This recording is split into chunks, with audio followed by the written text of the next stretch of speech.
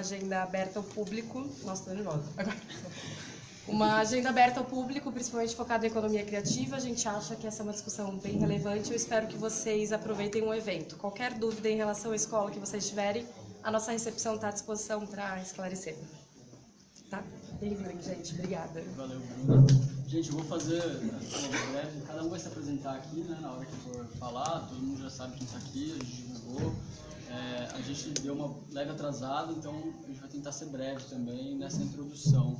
Eu e a Janara, né, da Ideia Fixa, a gente vai introduzir um pouco o que significa essa história que a gente está criando, é essa rede é, de design ativista, né, que a gente está formulando já há algum tempo.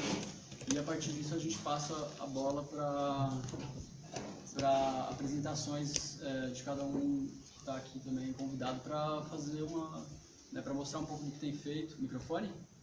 Sim? Precisa? Sim, sim, sim. Vamos. Alô? Alô? Alô, alô.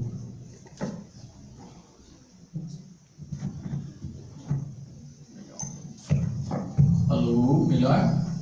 Tudo bem?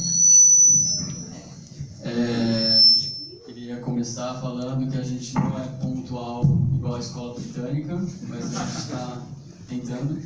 Então, para começar, gente, meu nome é Rafael Vilela, eu sou da Mídia Ninja, do Fora do Eixo, e eu e a Janara a gente vai fazer uma breve introdução dessa história que a gente está construindo para depois passar a palavra para o Marcelo, para a Elaine e depois para o Pedro, nessa ordem. É, começar agradecendo a presença de todo mundo, né? Que veio aqui tanto para apresentar suas ideias quanto quem veio aqui é, escutar e debater e interagir com esse negócio, né? Porque a gente também não está fazendo uma coisa para vir aqui apresentar e falar que é isso e está pronto. Assim, a ideia é exatamente o contrário, que a gente traga aqui algumas provocações e, e que legal que está sendo nesse espaço, que é, né, os espaços das, das escolas, do ensino formal, normalmente é muito mais fechado para esse tipo de ideia, então a gente acha que é muito legal ocupar esses espaços também com esse tipo de, de iniciativa.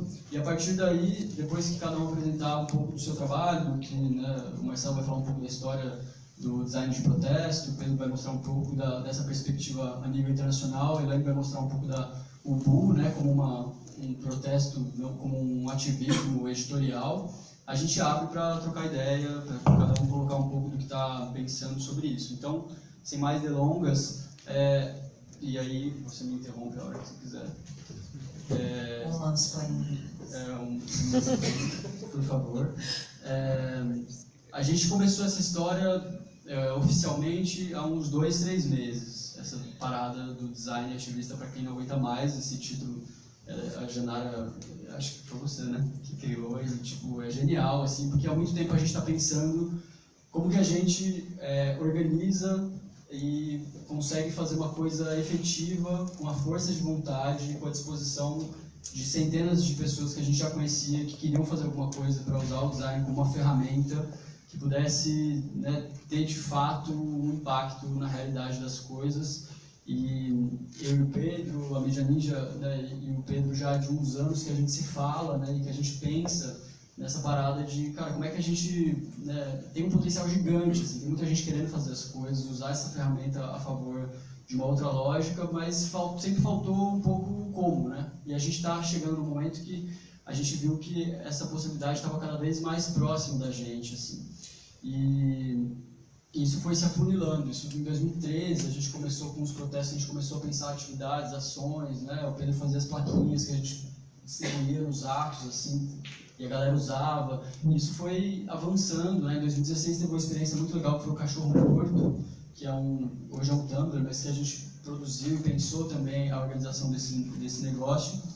E, e essa história ela foi se desenrolando de um jeito que a gente acha que chegou a hora, assim mesmo. Parece uma coisa meio é, marqueteira falar isso, mas a gente acha que de fato chegou a hora de fazer é, esse, todo mundo que está aqui, por exemplo, e que está vindo nas outras reuniões né, que a gente está fazendo, é, a gente tem um potencial gigante de mudar o eixo do design, como ele é realizado no Brasil, de um eixo econômico para um outro tipo de atividade que beneficie outros interesses que não só os interesses comerciais corporativos. A gente acha que o design tem essa potência gigante e a gente está aqui para começar a pensar como fazer isso. E não é a primeira vez, né? a gente está vindo de uma sequência de reuniões, de encontros, e eu vou relatar brevemente eles porque é importante para a gente entender essa trajetória recente. A primeira atividade que a gente chamou foi exatamente um evento chamado Design Ativista, para quem não aguenta mais, na Casa Ideia Fixa, que recebeu cerca de 100 pessoas para debater esse tema. A gente se surpreendeu, o evento deu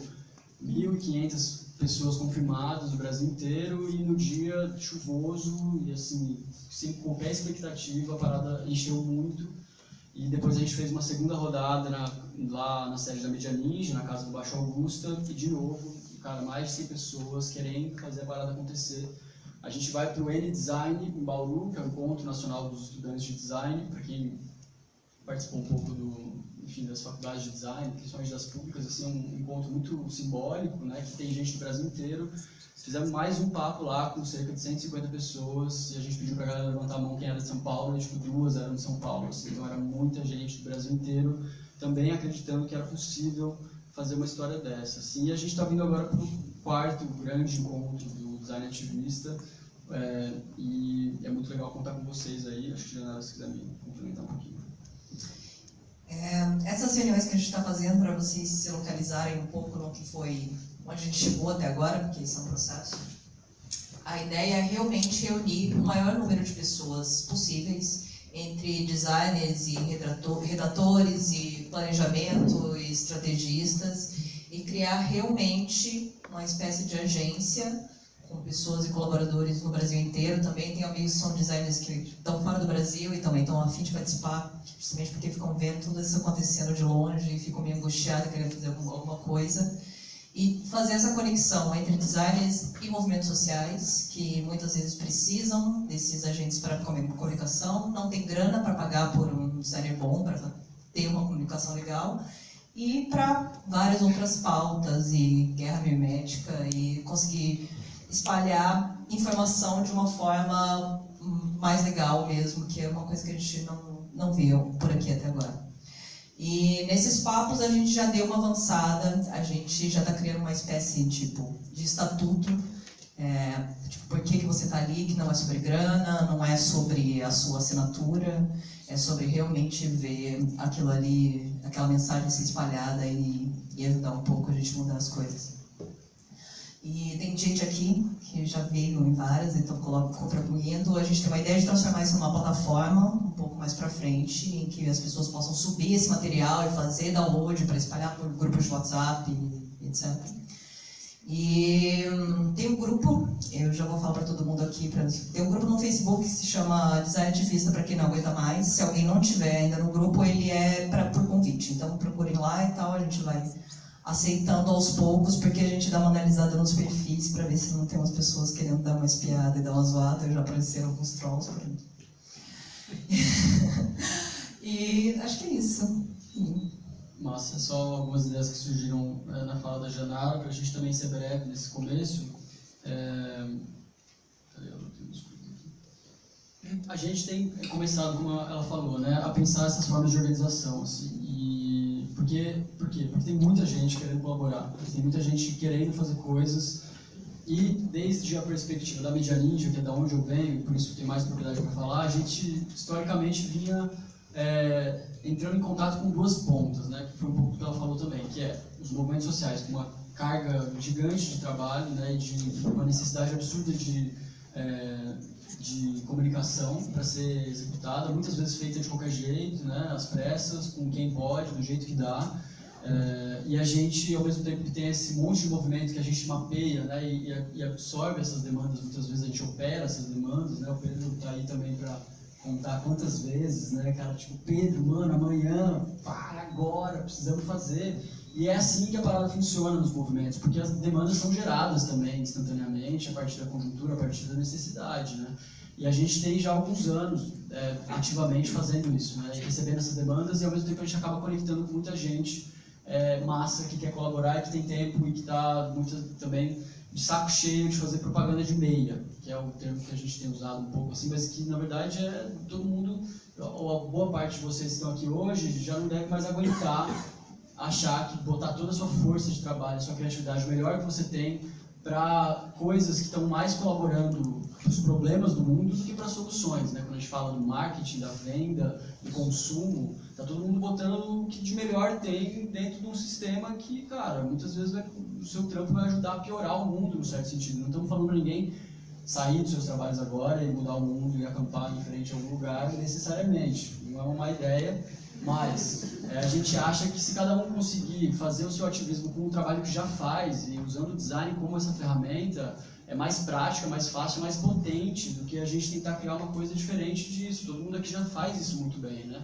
Já trabalha com as engrenagens do sistema e pode remanejar essas engrenagens, num certo sentido, para uma coisa que seja útil para uma demanda real. Então, para a galera que vem da universidade, muitas vezes é aquele trabalho acadêmico que foi feito para nada e vai servir para ninguém. Ele é tipo uma demanda que você cria e que ela não existe, você vai fazer ela e ela não vai acabar em lugar nenhum, né? E pra galera que tá no mercado, muitas vezes é essa frustração de tipo, putz, cara, eu tô fazendo aqui, né, no final das contas beneficia quem e pra quê, assim. E nesse momento de crise que a gente vive, a gente tem visto essa possibilidade de ficar cada vez mais forte. Um pouco do que a Janara falou, da plataforma, né, da gente conseguir automatizar isso, porque a gente foi descobrindo também que dá muito trampo pegar as demandas pegar a galera disponível e fazer isso dar certo, né? Isso é um puta trampo. Você tem um trampo de meio, assim, de gestão, de organização, de briefing gigante, né? Isso. Eu acho que, resumindo, assim, além de ouvir as pessoas incríveis que a gente tem para ouvir hoje, a gente gostaria muito que dessa sala saíssem mais pessoas interessadas em colaborar, porque eu tenho certeza que tem um monte de gente talentosa aqui. E é realmente com o tempo que você tem. Se é uma hora na semana, se são duas, se são três, se é no final de semana, se é um dia à noite, acho que não importa, assim, acho que a questão é justamente isso, assim, você conseguir fazer uma coisa que você sinta que você está realmente colaborando e botando uma mãozinha. Não, é pro outro lado, acho. é, é, legal. É uma, uma coisa que já saiu do, dessas reuniões que foi muito legal foi o Campanha de Mulher. O Campanha de Mulher foi um projeto organizado pelas minas lá do, do, do Media Ninja. E a ideia do Campanha de Mulher era conectar mulheres comunicadoras, designers, fotógrafas, redatoras e etc., com candidatas do Brasil inteiro que não têm grana para pagar por suas campanhas. Então, é uma plataforma que foi criada para conectar essas duas pontas. As candidatas se escalam para pleitear nesses trabalhos e as meninas se cadastram para cruzar essas duas pontas. E a pessoa que ficou responsável por fazer toda a comunicação da, do campanha de mulher foi o Kaique, que está aqui, levanta a mão. o Kaique foi na primeira reunião e eu já tinha visto o portfólio dele antes, menino super talentoso, e aí dali já saiu, já foi feito, e o campanha de mulher foi postado por algumas pessoas com um monte de seguidores no Instagram, tipo Thaís Araújo e tal, etc. E ele já está com, sei lá, mais de 20 mil seguidores no Instagram e com um monte de gente se inscrevendo. Então é um negócio que está rolando, é efetivo e já está acontecendo. É, esse contato é isso, né? O cara que estava numa reunião do design ativista, a partir dali a gente conectou e já, né, as coisas já estão fluindo, assim, mesmo que a gente não consiga organizar ainda é, um sistema completo, é, essa disponibilidade já está rolando.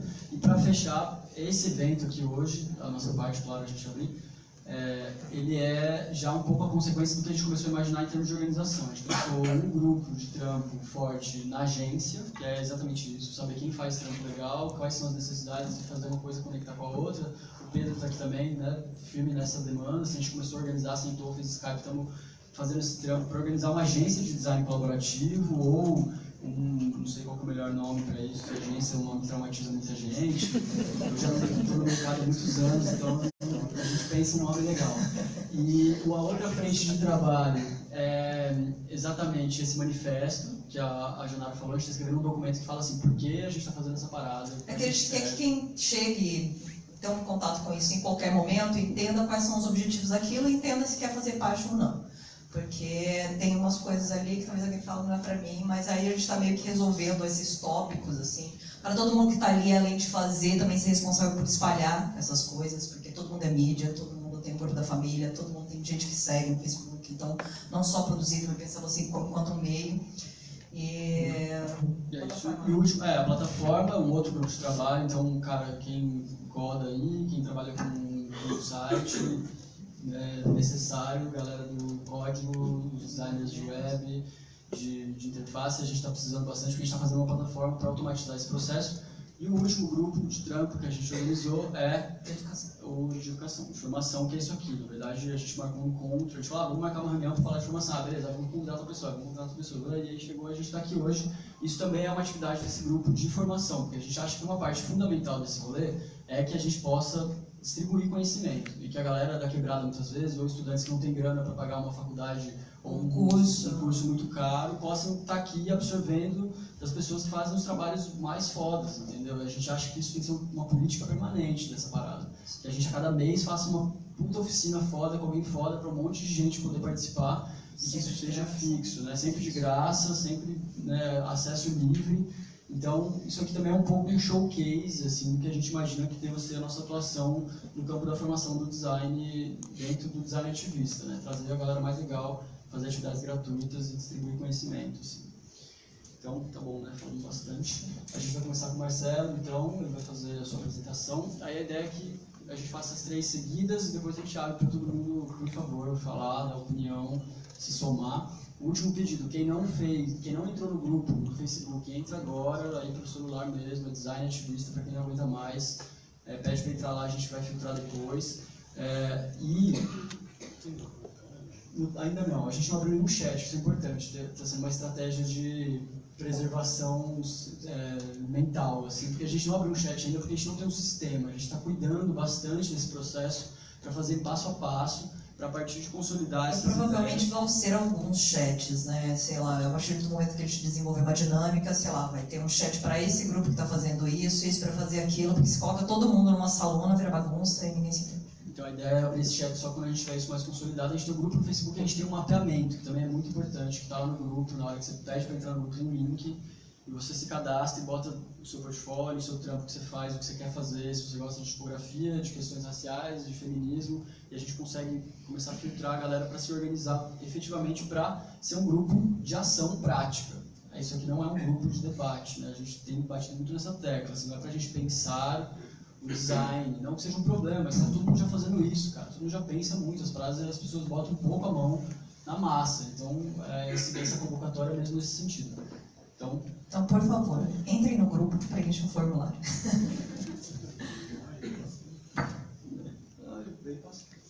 É? Porque tem horas que eu acho que eu vou. Ah, é bom.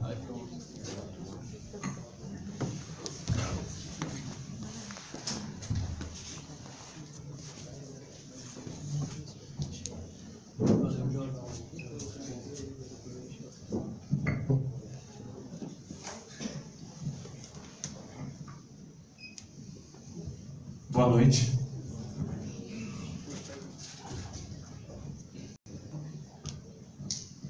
Meu nome é Marcelo Roncati, eu sou designer num escritório chamado Estúdio Coletivo, mas é, isso não importa hoje. É, eu também sou professor aqui na IBAC e. Ela tá aí? Vai no manual. Então, então, beleza, eu vou falar, pode passar aí, vai passando que tem bastante coisa. Sou designer, pode passar, por favor. Tava tudo no Keynote, bonitinho, pena que deu. Queria dizer boa noite, obrigado, é uma honra estar com vocês aqui, gente muito foda. Quando a Janela me convidou para participar uh, e falar alguma coisa sobre design de protesto, eu fiquei meio em pânico, não sabia o que falar, o que fazer, e eu me lembrei que uma das aulas que eu dou aqui na EBAC é sobre design de protesto. Ela tem um, pega um pouco um nicho em um momento do design de protesto, não é uma, uma linha total. Pode passar. E durante as minhas aulas eu sempre faço aquela pergunta clássica: o que é design? Ah, design pode ser. Opa! A zona cinzenta entre um resultado e um problema, pode ser um vazio para ser preenchido uma expressão artística ou um momento de pesquisa, um olhar crítico sobre um processo. E no final, uh, design pode ser todas essas coisas ao mesmo tempo e até outras coisas convergentes, né? É, o Stuart Bailey, que é um designer, ele, ele diz que para o design existir, outras coisas precisam existir. Então, um escritório chamado Experimental Jet Set também diz isso. Né? O design sempre foi uma área onde elementos distintos convergem. Arte, política, então outras coisas precisam existir para o design de fato existir. E me interessa muito uh, as histórias contadas graficamente. Né? Pode passar, por favor. Então, eu acho que muitas pessoas conhecem o Guerrilla Girls aqui. Quem não conhece vai conhecer um pouquinho agora. Elas tiveram uma exposição no MASP ano passado, até o comecinho desse ano. Pode passar, por favor. É um grupo... É, não, volta, valeu. É um grupo de mulheres artistas que sempre foram anônimas, pouco importava o rosto delas, né? E é, ela, ele foi criado em 85 em Nova York e tomou o espaço urbano com posters, outdoors e uma série de publicações. Pode passar, por favor. Questionando a, a presença da mulher no mercado da arte, é, nos museus, como elas eram colocadas. Pode passar, por favor. Mais um. Aqui eles fizeram uma versão em português. Tá. E, é bom, eles fizeram mais de 100 posters. Opa. Dedinho louco, hein? Mas não era para ter essa imagem, já, já. Aí. Mais cinco posters denunciando a baixa presença de mulheres e negros em acervos de museus, galerias e coleções particulares. Né? Pode passar, por favor. Aqui, espera, fica um pouco aí. por favor.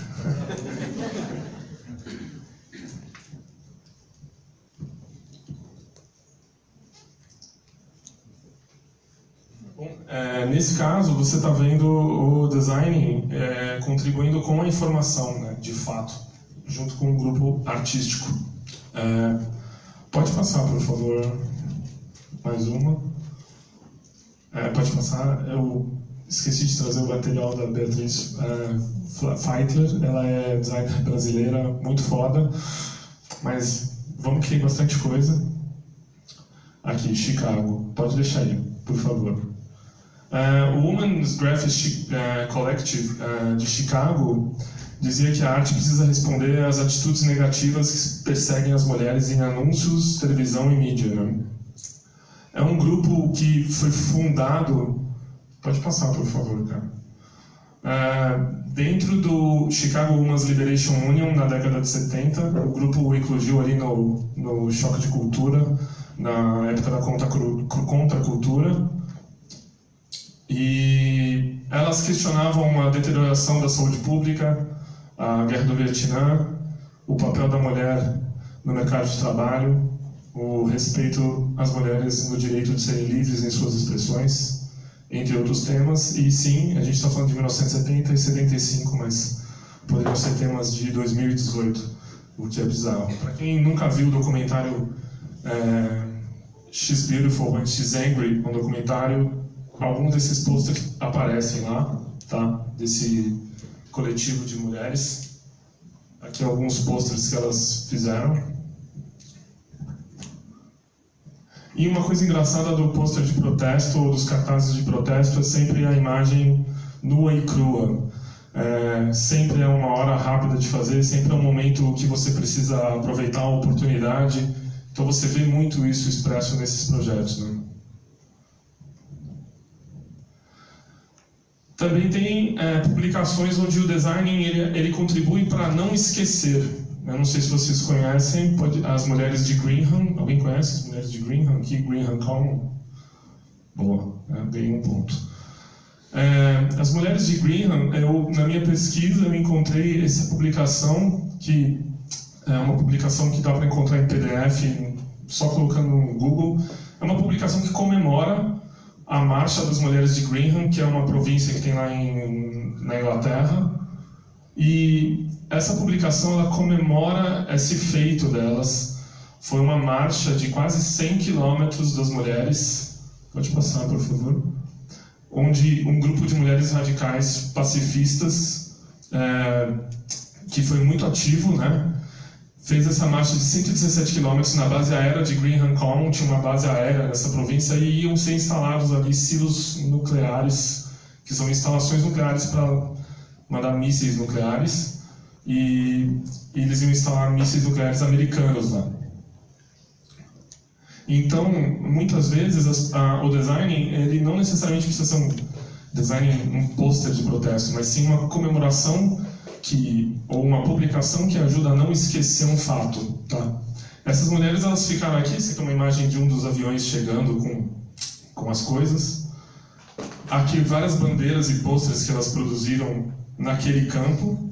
E tem muitas fotos também, pode passar a próxima, por favor. Algumas fotos essas. É... Só um momento para vocês lerem a frase. Eu fui acusada de ser cruel e de ser fria por deixar minhas crianças para trás, mas é exatamente pelas minhas crianças que eu estou fazendo isso. No passado, os homens deixaram as suas casas para ir à guerra, agora as mulheres deixam suas casas para lutar pela paz. É, esse, esse grupo de mulheres ficou instalado em Greenham Common durante 19 anos é, não foi um protesto de um dia. Então, essa publicação ela comemora o primeiro ano desse protesto. Mas elas chegaram ali em 83 e só foram sair de lá 19 anos depois. Até 2000, ah, não, 98, o último, os últimos aparatos nucleares foram embora e aí virou uma espécie de museu em memória desses protestos. Tem também a Madame Bing Graphics Collective, que é um coletivo, um armamento gráfico, um coletivo de mulheres super radicais e comunistas e que eu acho que tem uma super relevância no, no design de protesto. Para elas, elas diziam que não existem pessoas especiais, apenas circunstâncias, diferentes circunstâncias.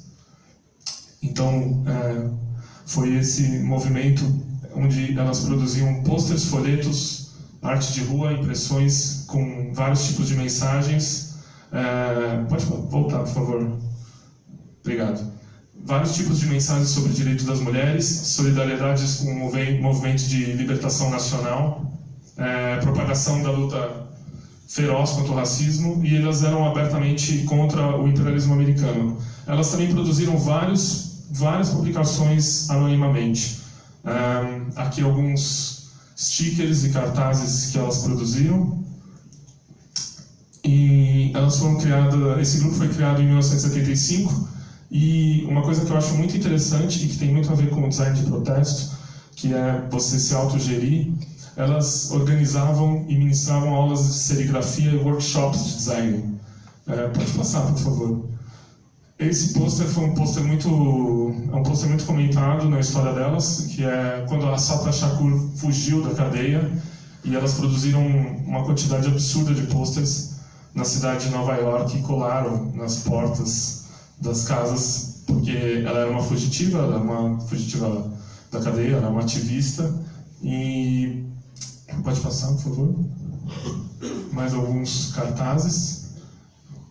Aqui é um cartaz de chamado para serigrafia, né? E como vocês podem ver, serigrafia, aula de serigrafia para mulheres.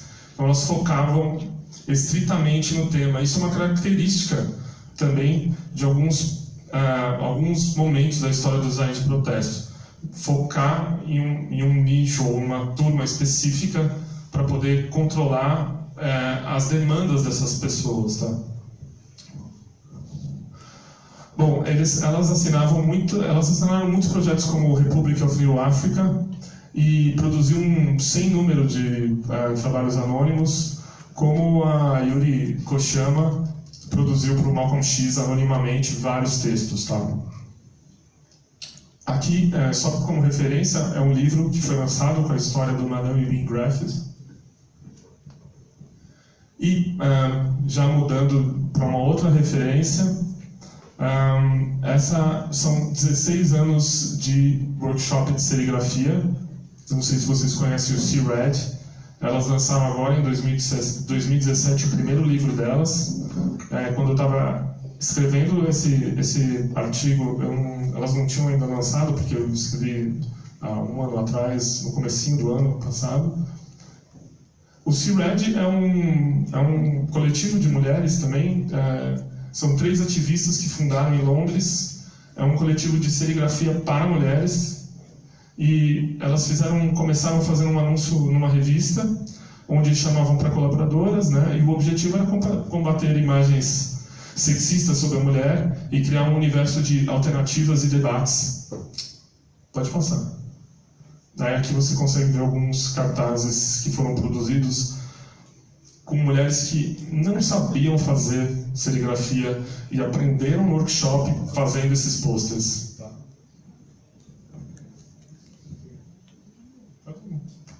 Essa agora pode, pode vai um pouquinho mais devagar aqui. Valeu.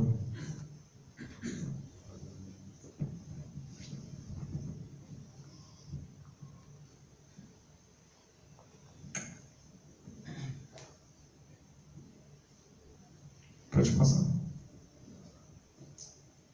Então, é, assim, se você pesquisar né, no C-Red a história deles, você acha uma quantidade absurda de cartazes eu separei os que eu acho particularmente mais relevantes, que vão desde do exagero de pílulas que as mulheres acabam sendo obrigadas a, ou, enfim, é, obrigadas ou intuitivamente falam para elas tomarem, ou o dia a dia, o dia da, da, da mãe, né, como ela tem que trabalhar e como as mulheres nesses cartazes questionam isso e você consegue ver essa produção é, é, e começa a refletir porque você consegue ver as questões pessoais dessas mulheres nesse é, durante esses 16 anos. Esse grupo continua ativo até hoje de cartazes e de workshops de serigrafia tá?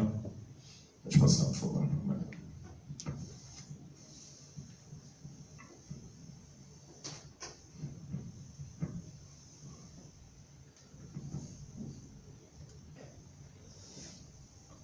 Ah, não deixe o racismo nos dividir, enquanto a mulher for, não for uh, totalmente livre, o povo não será livre. Isso é de 1970, gente.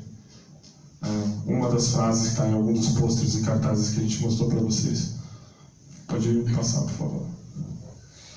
Elas também fizeram esse pôster que eu gosto bastante, que chama para o protesto, quer dizer, convida os designers ou as pessoas a, a falar, né? a, a se expressar.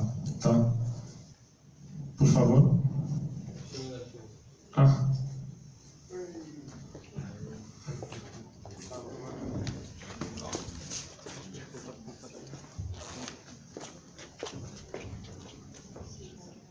Aí, gente, eu vou ficar aqui que eu quero ver também. Obrigado. Bom, é, mudando um pouco, indo para o Brasil, é, você tem aqui nesse trabalho, inclusive a Bebel Books, que também é gerido pela Bebel. Oi? Ah, tá bom. Você tem o um projeto da Bárbara Malagoli. É, aqui ela é, não é necessariamente design de protesto, mas é o contexto e como ela está trabalhando os estereótipos aqui nessa publicação Flutuantes. É o que ela queria desenhar as mulheres do jeito que elas são e do jeito como, como ela quiser, com todas as perfeições que ela tem e todas as imperfeições que ela tem, como isso também pode ser bonito. E a Bárbara Malagoli também produziu e contribuiu para um projeto que é o Topografias, que foi feito por mulheres e continha uma paleta de cores é, conjunta. E a Love Love 6, que é uma outra ilustradora, participou desse projeto. E ela tem uma publicação que eu acho muito relevante, é, que é, contesta os estereótipos também e fala sobre coisas que necessariamente ou não necessariamente são consideradas tabu, né? Como a Garota Siririca. A Garota Siririca foi produzido e depois entrou no Catarse para as pessoas contribuírem. Eu acho um projeto maravilhoso. Não necessariamente é um cartaz de protesto chamando ou para alguma coisa, mas é, o projeto em si já fala o que tem que falar, né?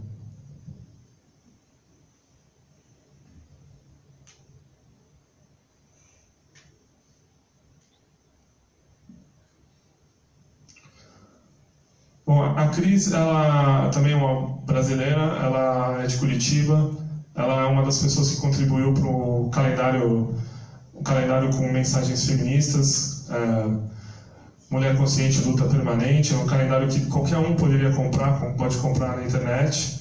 E durante a minha pesquisa, elas também, ela também participou do projeto das Meninas da Peita, e eu encontrei essa camiseta durante a minha pesquisa de design de protesto dos anos 80 e a direita, né? E é engraçado como quando você começa a pesquisar o design de protesto, você começa a mergulhar nessas questões, você, você encontra um, um ecos do tempo, é, você encontra questões que eram faladas na década de 60 e estão sendo faladas agora. Você vai percebendo o quão pouco a gente caminhou durante quase já 50 anos. Tá?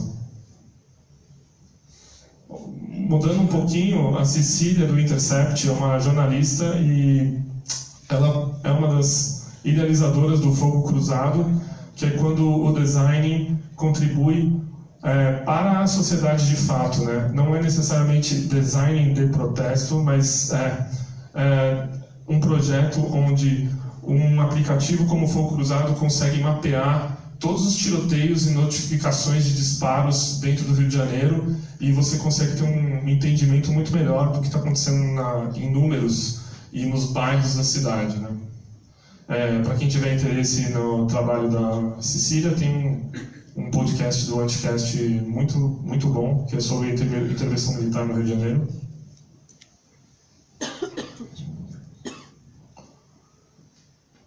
Bom, um, e aí indo um pouquinho para publicações editoriais, tem a, a, Raquel, ela, se não me engano, ela é holandesa, pelo sobrenome deve ser, né? Eu nem consigo pronunciar esse tipo de sobrenome. É, o valor em imaginarmos utopias está em observar o quão distante estamos delas. Né? Elas fizeram o The Feminist Utopia Project, que é um livro que usa o Utopia do Thomas More uh, como referência. E o legal desse projeto é que elas imaginam várias utopias para entender como a gente está distante da realidade. Né? Então, elas usam essas possibilidades imaginativas, uh, usando o ideal como crítica para o real. Né? Bom, é, todas essas imagens que eu mostrei para vocês elas um, foram é um compilado de um de um artigo que eu escrevi chamado Linha de Frente no Medium em homenagem à minha filhinha que nasceu em 2016 e, e é engraçado como as circunstâncias levam a gente também a começar a refletir. Então quando eu comecei a pesquisar para escrever esse artigo para minha filha você começa a, ao mesmo tempo refletir. Por isso que vocês acabaram vendo muitas muitos muitas histórias relacionadas de design de protesto com uma figura feminina inserida na, na questão. Mas, é, quando a gente começa a pensar algumas bibliografias, você vai encontrar o Design of Dissent, que tem uma entrevista muito interessante com Milton Glaser, onde você vai achar uma série de publicações com as legendas e com o nome dos artistas que contribuíram para os projetos. Você vai encontrar questões relacionadas ao consumo, questões relacionadas ao racismo, você vai encontrar parte do trabalho do Emory Douglas. Para quem não conhece o Emory Douglas e está vendo esse trabalho aí, ele, é o, ele era o ministro da Cultura dos Panteras Negras. Tem um documentário dele no Vimeo, muito bom também, recomendo. E você vai encontrar vários anúncios, ah, projetos que foram feitos nos anos 80, projetos que foram feitos nos anos 70 neste livro. À esquerda ali, Pushpin Studios.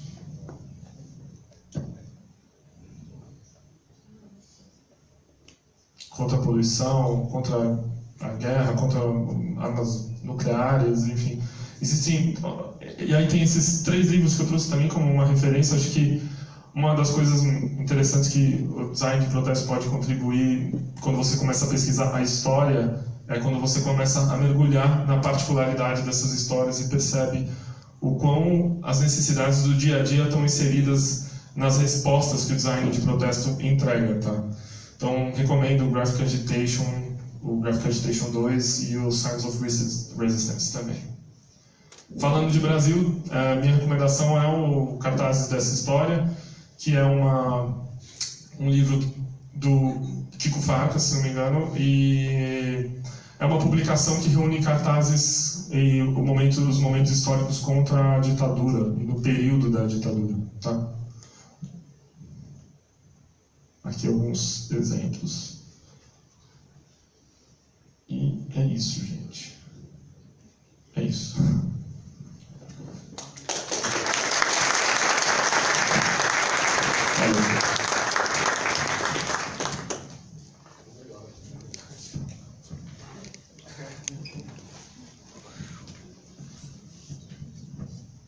E agora?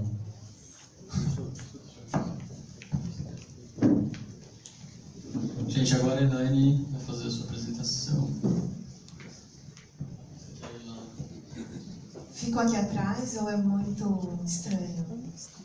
Parece que você está vendo na TV, talvez? É. Já que estamos aqui juntos no mesmo lugar, né?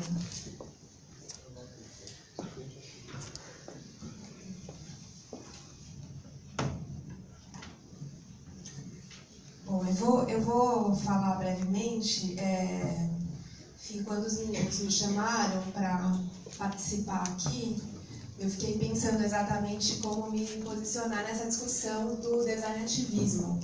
É, eu é, tenho, trabalhei por muitos anos numa editora que chamava Cosac Naif, essa editora fechou e depois eu abri uma editora junto com duas amigas que chama Ubu.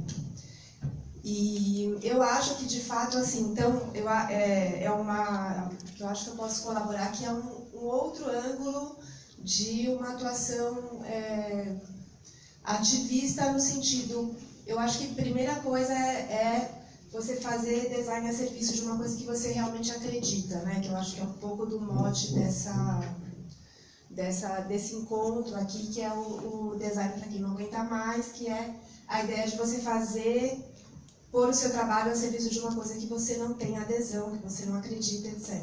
Quer.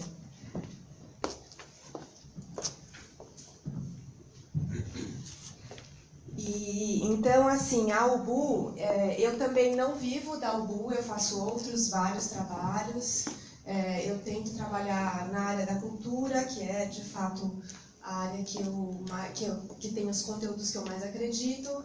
Mas a UBU, de fato, é um projeto que é meu, que eu construí desde o começo e me valendo de, um, de uma experiência muito longa, muito intensa, que foi um grande laboratório que foi a COSAC. É, então, quando a gente começou a UBU, a gente começou já com uma experiência muito longa de, de uma outra editora que testou muitas coisas. A COSAC foi um lugar em que eu pude testar muitas coisas do ponto de vista da linguagem, da experimentação gráfica, dos materiais, etc., mas também comercialmente. Na, na COSAC a gente fez muitas experiências comerciais, das que, umas que foram grandes fracassos e outras que foram grandes sucessos.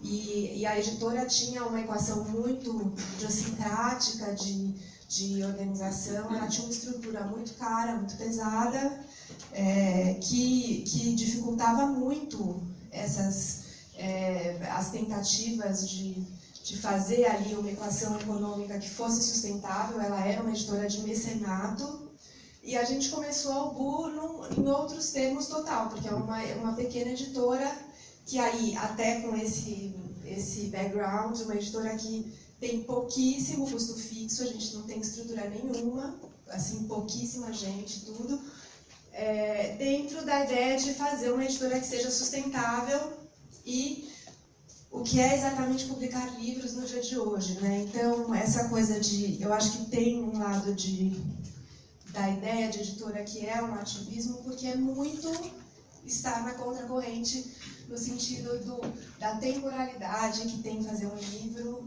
e da experiência que você propõe para o leitor, né? Então, é, essa ideia de uma de você ter contato com o conteúdo de maneira linear, individual, concentrada, com começo, meio e fim, que não se que está individualizada, né? Na hora que você publica um livro, você edita e dá o começo, meio e fim e individualiza um conteúdo, separa ele do mundo. Então acho que a gente tem cada vez menos essa experiência mesmo aqui, né? Todo mundo no celular o tempo todo é impossível você ler um livro e estar no celular ao mesmo tempo. Então, nesse sentido, eu acho que publicar livros é uma contracorrente completa em relação ao, ao mundo, ao, ao passo que o mundo está, e ao mesmo tempo é uma, uma colaboração de longa, de, de, de fundo, né? Uma coisa que tem os livros, o que eu acho muito legal de trabalhar com livro é que o livro fica, né? São coisas que ficam, é difícil alguém jogar um livro no lixo. Então, é uma contribuição de conhecimento, de registro que fica. e a gente lida com muito pouca coisa que permanece hoje em dia. Então, eu acho que por muitos anos o livro ele é uma estar na, na contracorrente do mundo, assim. É uma, então, acho que é uma maneira de resistência muito forte. E, é, então, é, essa imagem que está aqui é uma imagem do Alfred Jarry, que é um autor francês que ele, é inspiração para o nome da editora, que é o que é um personagem dessa figura aí, que é um, um dramaturgo e escritor que era totalmente maluco, assim, totalmente um personagem muito desencaixado da sociedade francesa da época, da virada do século XIX para o XX, e ele foi uma influência para as vanguardas do século XX. Então é uma, uma figura que a gente achou interessante como inspiração e também o nome, enfim, tem a ver com sonoridade, com, com várias outras questões comerciais, etc., que te fazem decidir um nome. Mas um pouco isso, né? Essa, essa luta. E aí, claro, tem a luta no sentido disso, comportamental até, do que é propor a experiência da leitura de um livro, mas tem uma outra luta que é como você fazer uma editora sustentável no Brasil hoje, assim, que é uma, uma guerra, na verdade, não é nenhuma luta. É... Eu estou com o controle certo não? Ou é o... Aqui, se trocaram a pilha só? Ou trocou o controle? Aí tinha dois rolando.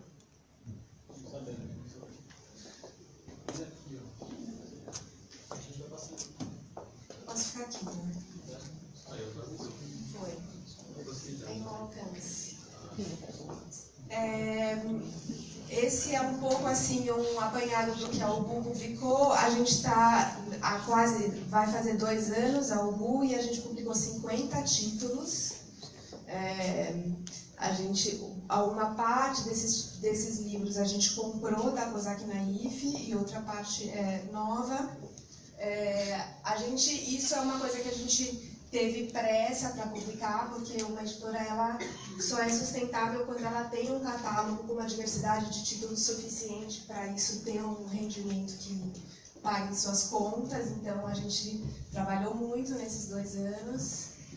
É, e os temas estão aí um pouco contemplados. A gente tem livros de design, como o Design para o Mundo Complexo e o Mundo Codificado. É, agora a gente está lançando o meio é a, é a massagem, que é um, é um livro de discussão sobre mídia, que é um vintage, né, um, um livro clássico dos anos 70. É, livro de fotografia e clássicos da literatura, como Sertões, é um catálogo bem diversificado em, ter, em, em termos de temas, mas que a ideia é fazer justamente fazer conexões entre diversas áreas do conhecimento. Então, é, um, é uma gama ampla de assuntos. É, essa é, é, uma coleção de livros que a gente que, que chama Exit, que é justamente a coleção que seria mais conectada com o nosso tema aqui, porque é uma coleção com textos sobre o debate contemporâneo. Então, é, são, são livros é, simples do ponto de vista do projeto, todos é, tipográficos. É, isso também tem a ver com custo, né, de não comprar imagem. É, e a gente, esses livros, eles são, um é de esse, é teoria política, é, economia, psicanálise, antropologia, são vários, são diferentes assuntos, mas todos se conectando em torno do debate contemporâneo. É uma coleção completamente voltada para o debate atual. É, essa é uma outra coleção grande, a minha sócia é antropóloga, então a gente tem um, já 10 livros dessa coleção de antropologia, que é uma coleção de formação para antropologia.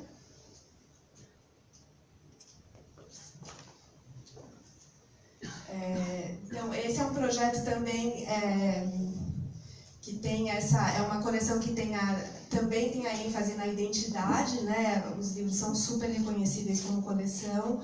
É, e ele é basicamente essa trama de linhas muito simples que, que, vai, que cria infinitas variações para as capas. Também, assim, sem imagem, uma cor, é, livro para adoção universitária, de, com, com foco em, em ser, ter um custo acessível. É, embora talvez vocês achem que não é tão barato assim, mas o, a questão é as, as tiragens desse tipo de livros são muito baixas, né? São, são livros de nicho que a tiragem atrapalha o. deixa o custo unitário muito alto. É, então são 10 livros nessa coleção. E assim, é, a minha ideia, eu acho que a gente também pode conversar mais, mas eu vou, eu vou falar um pouco mais desse título, porque é um tema que tem a ver com a gente aqui, como um exemplo de um projeto de livro. É, eu acho que eu, a minha maneira de pensar o projeto de um livro e de pensar em design é, como um todo é muito ligado a, a, ao conteúdo, a traduzir o conteúdo, então eu tenho muito envolvimento com os assuntos dos livros.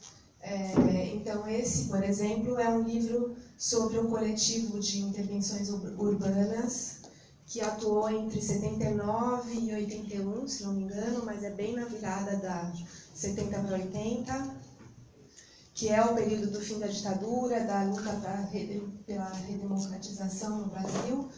E é um coletivo de três artistas, o Mário Ramiro, é, o, o Júnior e o. É, gente, calma, vou, já, já vem o nome dele. E o Rafael França, pronto. É, que eram que fizeram algumas intervenções em São Paulo e aí o, esse coletivo é um coletivo de arte que fazia intervenções rápidas, é, em geral noturnas, é, que são, então, são, são interferências na cidade que dão uma espécie de curto-circuito no funcionamento normal da cidade. E o projeto, e aqui o design é esse, essa espécie de logotipo do 3 nós 3. É, ele, é, ele parte de um, de, um, de, um, de um impresso que eles tinham, então esse, esse desenho do 3 é uma adaptação de, um, de uma assinatura que eles usavam. É, usa o livro, é, esse 3 dá a volta, né, e usa a simetria do livro, e a, na, na simetria do nome. É, e o, o, o, todo o material do livro, como eles faziam essas intervenções sempre de maneira é, fugidia, né, sempre é, de maneira clandestina, é, as fotos são sempre fotos com muito movimento, eles correndo à noite, etc. Então, é, o projeto e, e, basicamente as intervenções, é, boa parte delas, que são poucas na verdade, ele durou muito pouco tempo, é, eram estender faixas de plástico colorido é, em, em lugares inusitados da cidade. Então, o projeto ele usa essas faixas para organizar o conteúdo, uma faixa gráfica, né? não, é, não é a foto da faixa. É, e a todas as páginas elas têm uma diagramação como se estivessem um pouco deslocadas do, do lugar onde ele deveria estar. Né? Então, as coisas vão atravessando em sequência e sempre um pouco deslocadas, é, num diálogo com a ideia de, dessa intervenção que é clandestina, que é corrida, que está e que é deslocada do funcionamento da cidade, deslocada da, da ordem corrente. Então, é um projeto muito simples que vai enfileirando conteúdo e imagem. É claro que boa, boa parte do meu trabalho num livro como esse é estruturar a, a edição de imagem, né, junto com, com o Mário Ramiro, que é o, é o único dos três que está vivo. E aqui, por exemplo, é uma intervenção que eles abriram esse plástico ali no, no buraco da Paulista. Nas fotos coloridas, esse plástico é vermelho. E eles usavam a, a mídia como, como uma maneira de divulgar a própria obra. Então, eles faziam essas intervenções e sempre davam um jeito de ter um jornalista cobrindo a intervenção e, e, eles consideravam que a obra era a intervenção no jornal, porque a intervenção mesmo durava pouquíssimo. Essa, por exemplo, do ensacamento das estátuas, é uma, uma intervenção muito simbólica, um ensacamento na, bem na época do fim da ditadura, é, mas ele é uma intervenção que dura pouquíssimo tempo, porque vai, vai alguém lá e tira, mas eles ficavam com o registro das, das intervenções através das matérias de jornal. Então, o livro combina as imagens, os textos e as matérias que fazem parte, que eles consideram que faz parte da obra.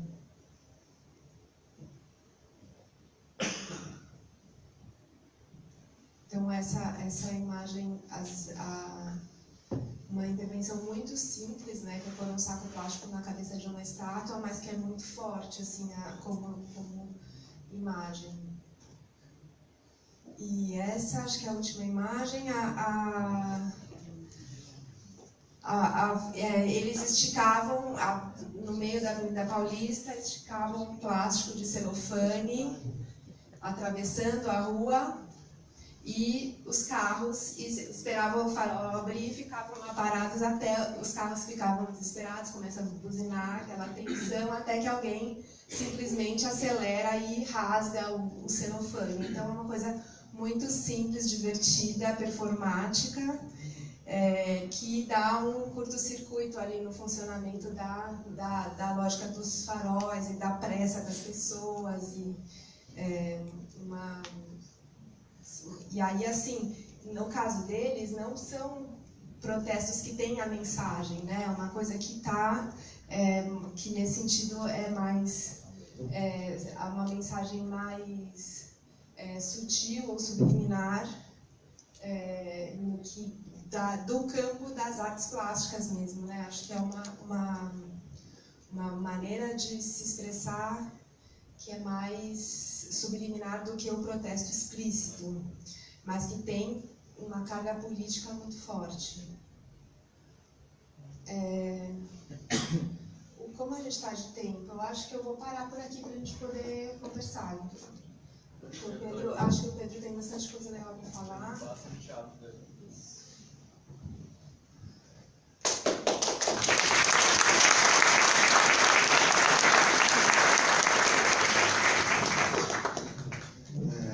Boa noite, todo mundo. Obrigado, Marcelo. Obrigado, Elaine, Dianinja, todo mundo. Eu coloquei uma lista aqui para a gente ser um pouco mais direto de todas as coisas que tem que falar. E aí uma pessoa me falou que eu precisava contar uma piada para começar a palestra. E eu não sou muito bem de piada, mas eu perguntei para meu filho, aí ele falou para mim contar uma piada de, você sabe qual que é o peixe que caiu do prédio? Ah, tu. Ruim, né? Tá aí. Tentar de novo, peraí. É, é uma história de um grego que está embaixo de uma oliveira e chegou um americano. E o americano chega, turista, né, na Grécia, olha e fala assim, nossa, tem um monte de oliva aqui apodrecente, quem que, que, que é o dono desse lugar aqui? Aí o cara fala, ah, é, sou eu. Aí o cara está embaixo uma oliveira, dormindo, assim, bem preguiçoso. Aí ele fala, meu, o que você está fazendo aí, ó? Um monte de oliveira, um monte de oliva aqui, estragando aqui. O que, que, que, que eu tenho que fazer com essa? Ah, você tem que pacotar e vender. Ah, vender? Mas vender para fazer o quê? Ah, tá vendo, você vende para ganhar mais dinheiro, né? Aí você pega, coloca aí, se empacota, vende para Europa. Tá bom. E depois o quê? Ah, aí você vende para China. Aí você, meu, ganha mais dinheiro aí. Aí depois o quê? Aí depois você pega, vende tudo, fica rico para ficar deitado aqui sozinho embaixo do universo sem fazer nada. Né? Então, a ideia de dinheiro que a gente tem hoje em dia foi uma coisa que sempre para mim é, andou. Peraí. Peraí. Pronto, peraí. É, eu nunca fui muito bom em guardar dinheiro.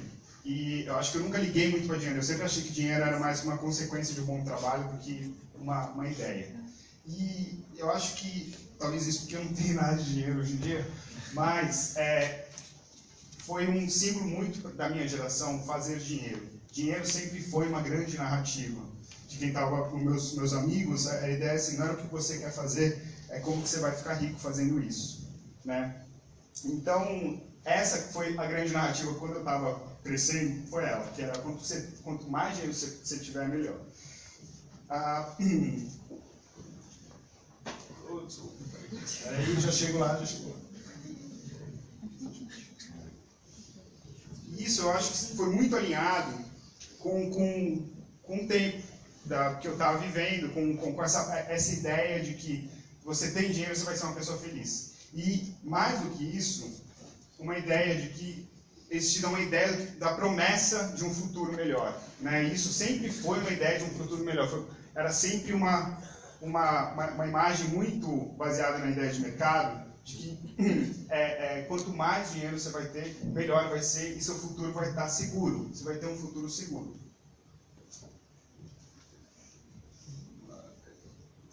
Isso se alinha muito claramente com a política que estava acontecendo também na época, que era uma política que os, os, os grandes estados falavam: não confie nos governos, confie nos mercados, para a gente ter um futuro mais próspero. A ideia era: quanto menos lei tiver, quanto menos regulação tiver, melhor para o mercado, porque as empresas vão conseguir crescer, todo mundo vai conseguir fazer dinheiro e isso vai levar vai levar prosperidade, essa ideia da gente ter um futuro mais, mais seguro. E isso foi 40 anos de desregulação do mercado. A economia sempre foi o centro disso. E a economia sempre é o ponto principal que precisa ser salvo. Então, para agora estica, coloca isso hoje em dia. Você tem a PEC 55 que congelou gastos na educação e na saúde por 20 anos. Uma criança que nasce hoje não vai ver nenhum aumento de gastos na, na educação e na saúde durante 20 anos. E qual que é a justificativa para isso? Mercado, economia. A economia precisa ser salva. Né? Mas você salva do quê? Você salva de quem? Né? Aí eu quero falar de aliens. Eu, quando era muito pequeno, vi esse filme, aí eu fiquei mega, mega é, é, é, empolgado e obcecado. São duas coisas, é, aliens e fim do mundo. Fim do mundo não falar muito aqui, mas aliens, eu sempre ficava pensando assim, quando um alien chegar aqui no planeta Terra, como é que a gente vai conversar com ele? Como é que a gente vai falar? Como é que, como é que a gente explica para eles quem que a gente somos como espécie? Né? E aí, pensando, montando essa base, eu lembrei dessa história, que é uma história muito interessante, que é a história do Voyager, é, que foi lançado em 1977. Foi o Voyager 1 e o Voyager 2. E o Voyager é uma espaçonave que é, é, o objeto humano que mais se distancia do planeta, do planeta Terra. Hoje em dia ele saiu do sistema solar, ele está num lugar chamado Interstellar. Não tenho ideia do que isso significa, não sei quanto tempo isso é, mas significa que tá, está há 41 anos, 42 anos se distanciando do planeta Terra e mandando sinais de volta. E dentro desse, do Voyager 1 e do Voyager 2, tem uma coisa chamada o disco dourado. Eu não sei se vocês sabem a respeito disso. O disco dourado ele é um projeto que foi praticamente cabeçado pelo Carl Sagan e ele contém imagens e sons do, de quem que é o planeta Terra. Quem somos é, como, como, como planeta, como espécie e tudo mais. E essa, então, imagens iguais a essa, que mostram, por exemplo, o planeta. E eles também têm um playlist. Meu, Quer coisa mais legal você fazer um playlist para forma para, para aliens, né? Então, que música que você colocaria no playlist para aliens, né? E como é que você representa a humanidade, né? Dentro de um playlist? Tem fotos, tem sons, tem um monte de coisa. Por exemplo, tem, tem é, som de ondas, som de passarinhos, tem som de tribos indígenas e tudo mais. E diz a história que o Carl Sagan estava montando essa, essa playlist. E ele tinha não, Beethoven, tinha Chuck Berry, e ele falou, quero ter Beatles, né? Porque, pô, gente, Beatles. Beatles precisa representar a humanidade para né, vidas de outro planeta. E ele foi lá e escolheu Here Comes the Sun, que não é a música preferida, não acho que, que é uma música, né? enfim, uma beleza, a escolha dele, e também meio louco, né? Porque não é Here Comes the Sun, é tipo There Goes the Sun. Então, é, enfim, um pouco contraditório. Mas, o interessante dessa história é que a EMI, a gravadora não deixou, por causa de direitos autorais. E aí você fala, que porra, como assim direitos autorais? Mas aí te fala muito a respeito, de novo, do desse tipo de mundo que a gente vive. Né? Que assim, se um alien vai escutar isso, eu, é melhor ganhar dinheiro, né? Imagina. Imagina os outros, quanto dinheiro estou perdendo que os aliens, né? Enfim, tudo mais. Mas aí voltando um pouco para a ideia de do, dos aliens. Então, é, eu queria pensar com vocês a ideia de o que, que representa a humanidade, como é que a gente pode, de uma certa maneira, explicar a humanidade para os aliens. Aí eu peguei dois gráficos para mostrar aqui para vocês. O primeiro gráfico, na verdade, esse para mim acho que fala qual que é o projeto da humanidade, qual que é o projeto que o ser humano está criando aqui no planeta Terra. Né? Porque tudo é um projeto. Né? Não, não, existe algo é, é, é, uma certeza completa. Então, no coração, o coração do projeto é a finança e o resto é o resto. Ninguém consegue mudar isso aqui. Todas as pessoas tentaram mudar isso aqui morreram, países foram em guerra para quem tentou mudar esse, esse sistema. E o outro gráfico é um gráfico bem mais simples, mas eu acho que ele é uma simplificação né, do conjunto de ideias que vem dominando a, a humanidade durante muito tempo. Né? Essa ideia de crescimento, essa ideia de expansão, essa ideia de lucro né, infinito. E, e essa ideia do mais é melhor. Na indústria alimentícia tem uma coisa chamada the sweet spot, que traduzido é o ponto doce, parece um, um ácido, né? o nome de um ácido, ponto doce. Mas enfim, não é um ácido. É, é, é, sweet spot é um ponto dentro da indústria alimentícia que é a quantidade de açúcar que você consegue colocar num produto. Então, é, a por exemplo, eles fazem esse teste para entender a quantidade de açúcar, a quantidade máxima de açúcar que eles conseguem colocar nesse produto, para quê? Para esse produto virar é, viciante, que açúcar vicia. E açúcar é, é, é, é adocica o produto também, né? enfim. Mas todos os produtos que podem colocar açúcar vão colocar no máximo de açúcar possível. Isso fala muito também sobre indústria, fala muito sobre a respeito de como que a gente sempre se baseia nessa ideia de crescimento. Tudo precisa crescer. Se você está olhando para a, a garrafa plástica, a cadeira, o, o, tipo de painel, o tipo de, de, luz, é tudo baseado numa ideia de indústria e as indústrias precisam crescer, né? crescimentos infinitos, né? dentro do planeta que ele é finito. Então, bom, é, a Edbusters, não, não vou falar da Edbusters agora, vou falar de outra coisa. Vou falar de, nos anos 80 e 90, um pouco do que eu estava crescendo, foi quando a, o, a, cultura pop se consolidou. A gente está falando da cultura consumista, a gente está falando do, da cultura corporativa, dos franchises, dos Hollywood blockbusters, aqueles filmão de Hollywood, começaram né, durante os anos, anos 80 e 90, e é, foi a época muito da MTV. Por quê? Porque tudo se tornou um produto durante esse momento, né? Tudo era business, na verdade. Né? Então era essa ideia desse, dessa promessa também. Era tudo lindo, era tudo maravilhoso. Eles falavam, a gente vai ter futuros lindos, acredite, vamos. E é, as, as corporações e o marketing dentro das corporações começaram a entender o valor que eles tinham. Começaram a entender que a imagem das corporações era muito mais valiosa, era um, um dos assets mais, mais valiosos. A Nike foi uma das grandes empresas que sacou isso antes, né? A Nike nunca patrocinou cultura, a Nike sempre foi a cultura, né? Então, dentro desse, durante esse momento, é o momento que a Adbusters nasce. A Adbusters nasce como uma revista. Ela começou como um projeto ambientalista que rapidamente se mudou para o ambiente mental. O que, seria o ambiente mental? Que da mesma maneira que você consegue poluir, consegue poluir o seu meio ambiente, você também consegue poluir o seu ambiente mental. A batalha não está só no campus e nas florestas e nas cidades, ela está tá dentro da cabeça das pessoas. Muito do que a Adbusters é, é, usou veio desse grupo do franceses situacionistas de 1968, 50 anos atrás, era um grupo de contracultura. Quem de vocês não conhece situacionistas, por favor, dê uma olhada. Eles têm ideias anticapitalistas muito interessantes.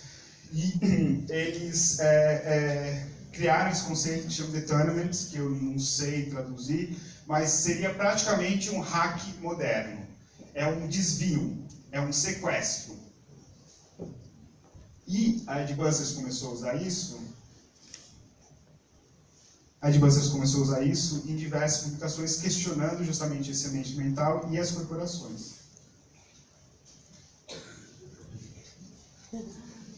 Nessa época, gente, não tinha meme, tá? Era tipo pré-meme isso aí.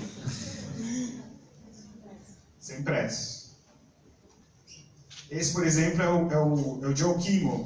É o, é o Joe Camel que está fazendo quimioterapia por causa de um câncer de pulmão.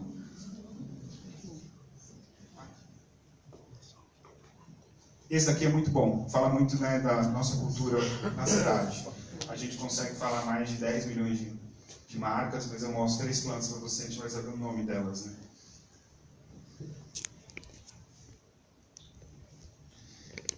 A Advances eu acho que ela estava muito à frente, de uma certa maneira, porque ela não estava só simplesmente pensando em é, é, um pouco nessa na, hackear as imagens, ela estava pensando na ideia de criar movimentos. E ela começou a criar isso faz muito tempo atrás, foi o dia do consumo zero. É no Black Friday, é um dia que eles encorajam as pessoas a passarem 24 horas sem consumir absolutamente nada. E não é a ideia de você não consumir, é a ideia de você parar e pensar o que, que você precisa realmente. Né? O que, que você precisa comprar na sociedade que a gente vive? Assim, você passa 24 horas sem consumir, você tem que se programar. Então é uma ideia de que você pare e pense a respeito disso. O que, que é a ideia do consumo, de você ficar 24 horas sem consumir?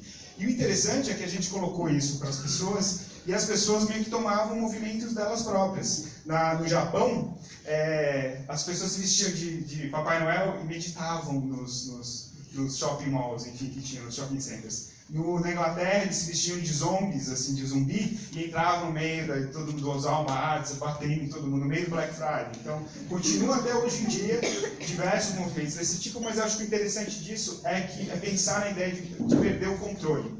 Perder o controle é uma coisa que não é todo mundo que pode fazer. Né? E a Advances, como organização, ela sempre teve isso, era sempre uma faísca, era sempre alguma coisa para jogar, uma pólvora para jogar, e um pouco as pessoas tomam a ideia e fazem do jeito que elas querem que foi o caso de Occupy Wall Street. A gente publicou esse pôster em 2011 e é, a gente estava acompanhando muito o que estava acontecendo no, na Primavera Árabe, no Levante é, Espanhol, das encampadas, nos indignados, o 15M, e a gente sempre ficava discutindo como é que a gente traz isso para os Estados Unidos.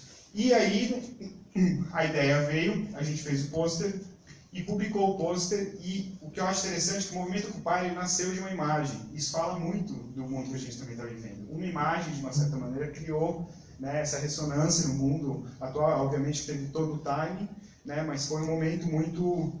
É, é, é, a gente perdeu o controle. Em nenhum momento a gente falou: esse movimento é nosso. Não era, é das pessoas, é, é, é para as pessoas justamente tomarem e, e criarem. E foi, aconteceu uma coisa engraçada, inclusive, que o, o um, um sócio da Pentagram, o, o Michael Beirut, falou que ele não viu em nenhum lugar esse pôster. E a razão que ele não viu em nenhum lugar esse pôster, porque a bailarina ligou pra gente e falou assim, eu não quero estar no seu pôster. Aí no dia seguinte que a bailarina ligou e falou que não quer estar no seu pôster, o cara que fez o, o, o, o touro ligou pra gente e falou assim, eu vou processar vocês, vocês estão usando uma obra de arte minha. Aí a gente não podia usar a imagem mas o mais legal foi que todo mundo criou um pôster para ocupar. Todas as pessoas estavam na ocupação de Nova York, do Sucot Park, e eles pegaram e criaram seus, seus, próprios designers. De novo, é uma coisa da multiplicidade, está multiplicando os múltiplos. Não é uma coisa de você fazer uma peça central né, e você depender dela. É você espalhar, né, é você agir mais como um enxame. Esse era a capa da revista que segue. Aí gente chega nessa parte aqui que é tipo, ah! Eu não sei direito. Vou lá. Lembra isso aqui? A, a ideia, promessa, um futuro melhor, né? Tal, tudo mais, etc. Eu vou ficar aqui porque agora eu preciso mudar isso bastante. Mas, não sei se já ouviram falar, mas a gente tem um continente de plástico no Pacífico Sul do tamanho, de um tamanho absurdo. A gente tem branqueamento de corais acontecendo, a gente tem espécies em extinção em massa, a gente tem recordes de anos quentes da história, quebrando cada ano que se passa. A gente tem praticamente, não sei se vocês estão vendo, mas estamos todos nós sozinhos, né, colados nas nossas telas de retina screen brilhantes, né, é, é, produzindo conteúdo de graça para as maiores companhias do mundo e pessoas ricas. Né? Você tem seis é, bilionários com mais dinheiro do que metade da população do planeta, muitos deles com dinheiro escondidos no Panamá, não é à toa que reações extremas nascem disso, não é à toa que a extrema-direita está nascendo, está em crise, que a, que a própria verdade, a própria ideia de verdade está em crise. Ninguém até agora conseguiu atacar o mercado financeiro. E a resposta que os governos dão para toda essa crise é mais mercado. Aí, é. Ah! Ó, essa assim, ah! Essa é a, é, é a realidade que a gente está, 2018. Tá? Aquela lá é a promessa, tá? e essa é a realidade. É, mas também, com tudo isso junto, existe uma janela. E eu acho que essa janela que a gente está aqui um pouco, a ideia de construir um pouco essa janela, tanto com os, os trabalhos conhecer história, de olhar para uma editora e fazer um, um, um, trabalho que não necessariamente tem a ver com a ideia de protesto. A gente está falando de uma batalha que é muito maior. É essa ideia de batalha mimética, onde todo governo é uma marca, todo líder é um símbolo.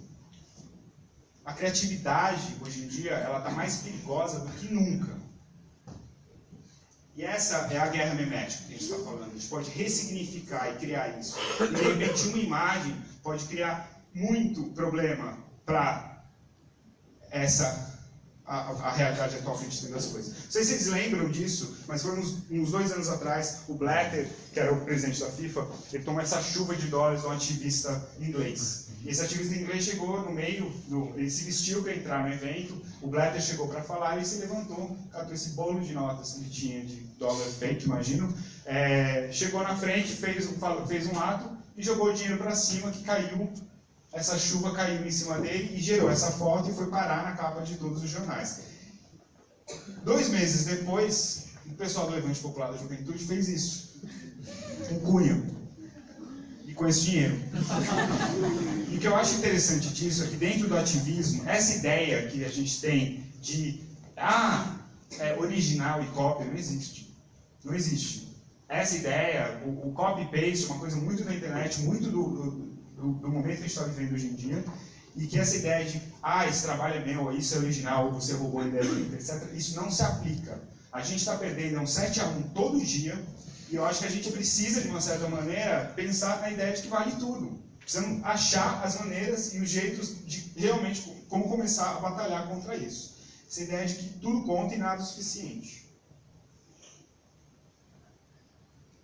Design costumava ser sobre produtos eu acho que hoje em dia o design é sobre é ditado pelo contexto pela cultura. O Masanobu Fukuoka, ele é um escritor super famoso que, que fez um livro que é um dos grandes livros sobre a permacultura. Ele fala uma coisa muito simples no livro, que ele fala que você não pode ter pesticidas numa plantação porque os pesticidas matam aranhas. E sem as aranhas, você não tem as teias de aranha que ficam na plantação. Sem essas teias de aranha, você não tem orvalho, você não tem as gotas que escorrem nessas teias de aranha. E sem essas gotas, você não tem aquele brilho de luz que bate de manhã cedo e ilumina toda a plantação. E sem essa luz, você não tem poesia. E isso me fez lembrar de uma frase de alguém falou em relação ao design, que é você nunca você nunca desenha só uma cadeira. Você sempre desenha uma cadeira numa sala, uma sala numa casa, casa na rua, rua na cidade, cidade no país, o país no mundo.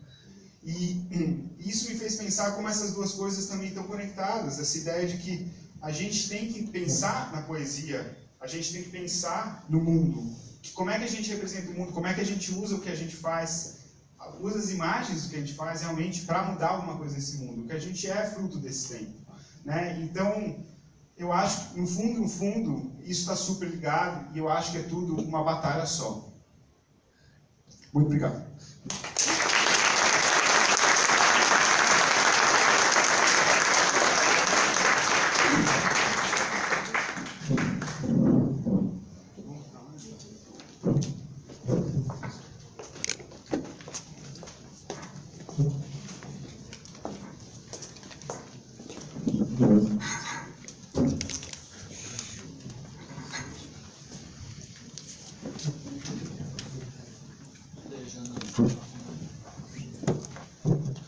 Gente, a ideia agora é a gente trocar uma ideia. Me falaram que até umas, até umas 10 a galera fica aqui, né?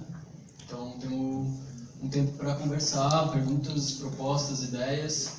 Lembrando que, é, bom, primeiro foi incrível, muito obrigado pelas três apresentações, foi foda. E lembrando que isso aqui é um quase que um aperitivo, eu acho, assim, do que a gente quer fazer sempre, né? A gente fazer esses espaços de reflexão, de pensamento e tal.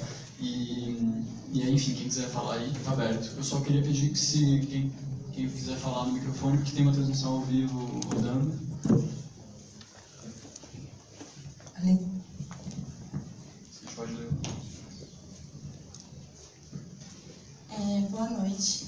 Meu nome é Vicky Rocha, eu sou da comunicação da Marcha Mundial das Mulheres. E aí eu queria é, tirar duas dúvidas, né, trazer dois questionamentos. É, se vocês têm em mente alguma vertente do, uh, que vocês vão atender, que vocês pretendem, né, estão planejando atender com um projeto de design ativista, porque o movimento de esquerda tem muitas vertentes, cada movimento feminista, enfim, cada, cada coletivo tem a sua vertente, né? Ah, pensando também, é claro, na questão dos anarquistas, etc. E eu queria saber como é que vai ser definida essa questão, se vocês estão definindo coletivamente, é, quais são as propostas. E eu também queria entender um pouco mais, que vocês também falaram sobre ah, levar a questão do design para pessoas da periferia, etc., tornar isso mais acessível. Então, se vai ser feita, vão ser feitas rodas de conversa, ou se já estão sendo feitas, e se vocês têm algum projeto para tirar essa questão academicista do design. Porque, querendo ou não, tudo que foi trazido aqui hoje é super bacana, super legal, super relevante, mas a linguagem, por mais legal que seja, muitas vezes foge um pouco da realidade da gente que está fazendo efetivamente a comunicação é, para a população, né? Eu digo pela marcha, a gente tem mulheres jovens, só que a gente também tem mulheres de 80 anos, mulheres de 60 anos. Então, como é que é a ideia de fazer essa comunicação para que atinja todos esses tipos de público? Vou tentar responder todas. Começando quando você fala, ah, eu quero saber se vocês. A primeira questão que eu quero quebrar é quebrar vocês, é nós.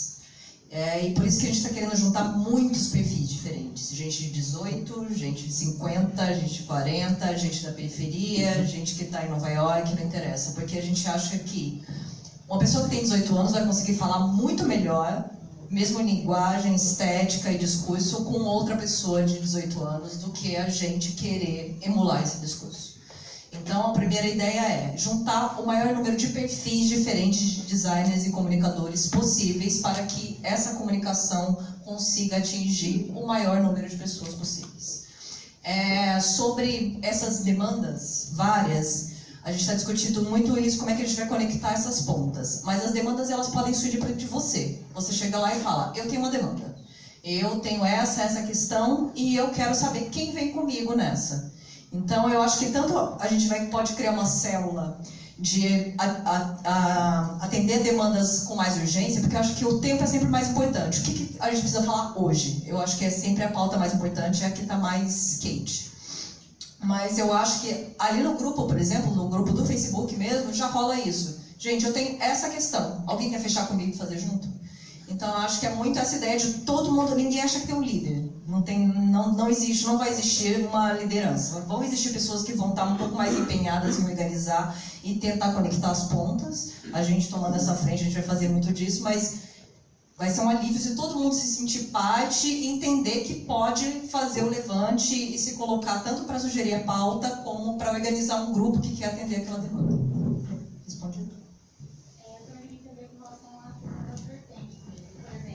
questão da, da campanha para mulheres uhum. E tal, é, meio que houve uma seleção, né, mais ou menos, assim, dos perfis e etc., da, de candidatas que iriam atender, etc.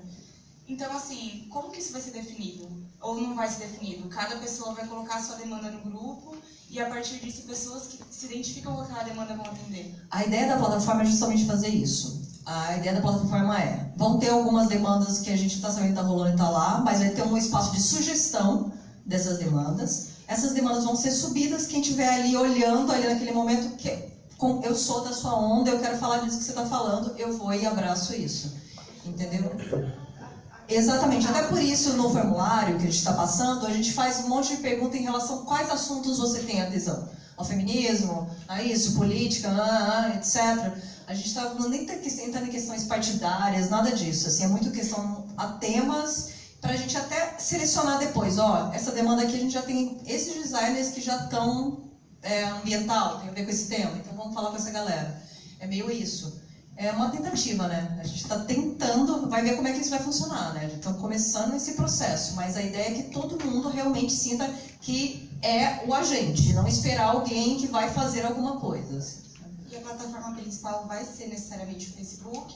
Ou, não, não, a ideia é criar um site mesmo. Criar um site onde você possa subir a sua demanda, onde tem uma lista dessas demandas por urgência. Você fala, ah, essa aqui precisa estar pronta em meia hora, essa em dois dias, essa é uma causa permanente, sempre que você quiser fazer uma coisa, vale. E um espaço para download também. Tem gente que vai lá só para baixar coisas para espalhar por aí. meio que essa ideia. Que mais, gente? Levanta a mão aí que a gente leva. Intimidante, gente.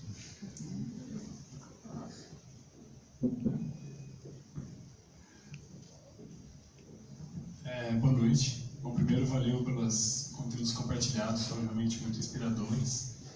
É, eu queria saber como vai rolar esse, esse desenho do território de temas que vão ser tratados dentro da plataforma. Como, como a gente decide o que são pautas que a gente está afim, que a gente vai topar, encarar ou não? Né? Como vai funcionar essa... Eu imagino que tem um espectro muito grande entre posicionamento político, visão e tal, e também temos de urgência, né? para mim é muito urgente, talvez para alguém não seja. Como vocês imaginam isso, ou sei lá, se não imaginam ainda, como tocar isso? Nossa, acho que a gente podia tentar circular mais algumas perguntas para a gente acumular e pode ser? Acho que daí todo mundo fala para mais gente poder falar e a gente daí tenta responder tudo junto, até porque essa resposta está em construção, né? É, eu imagino. Quem mais quer, gente?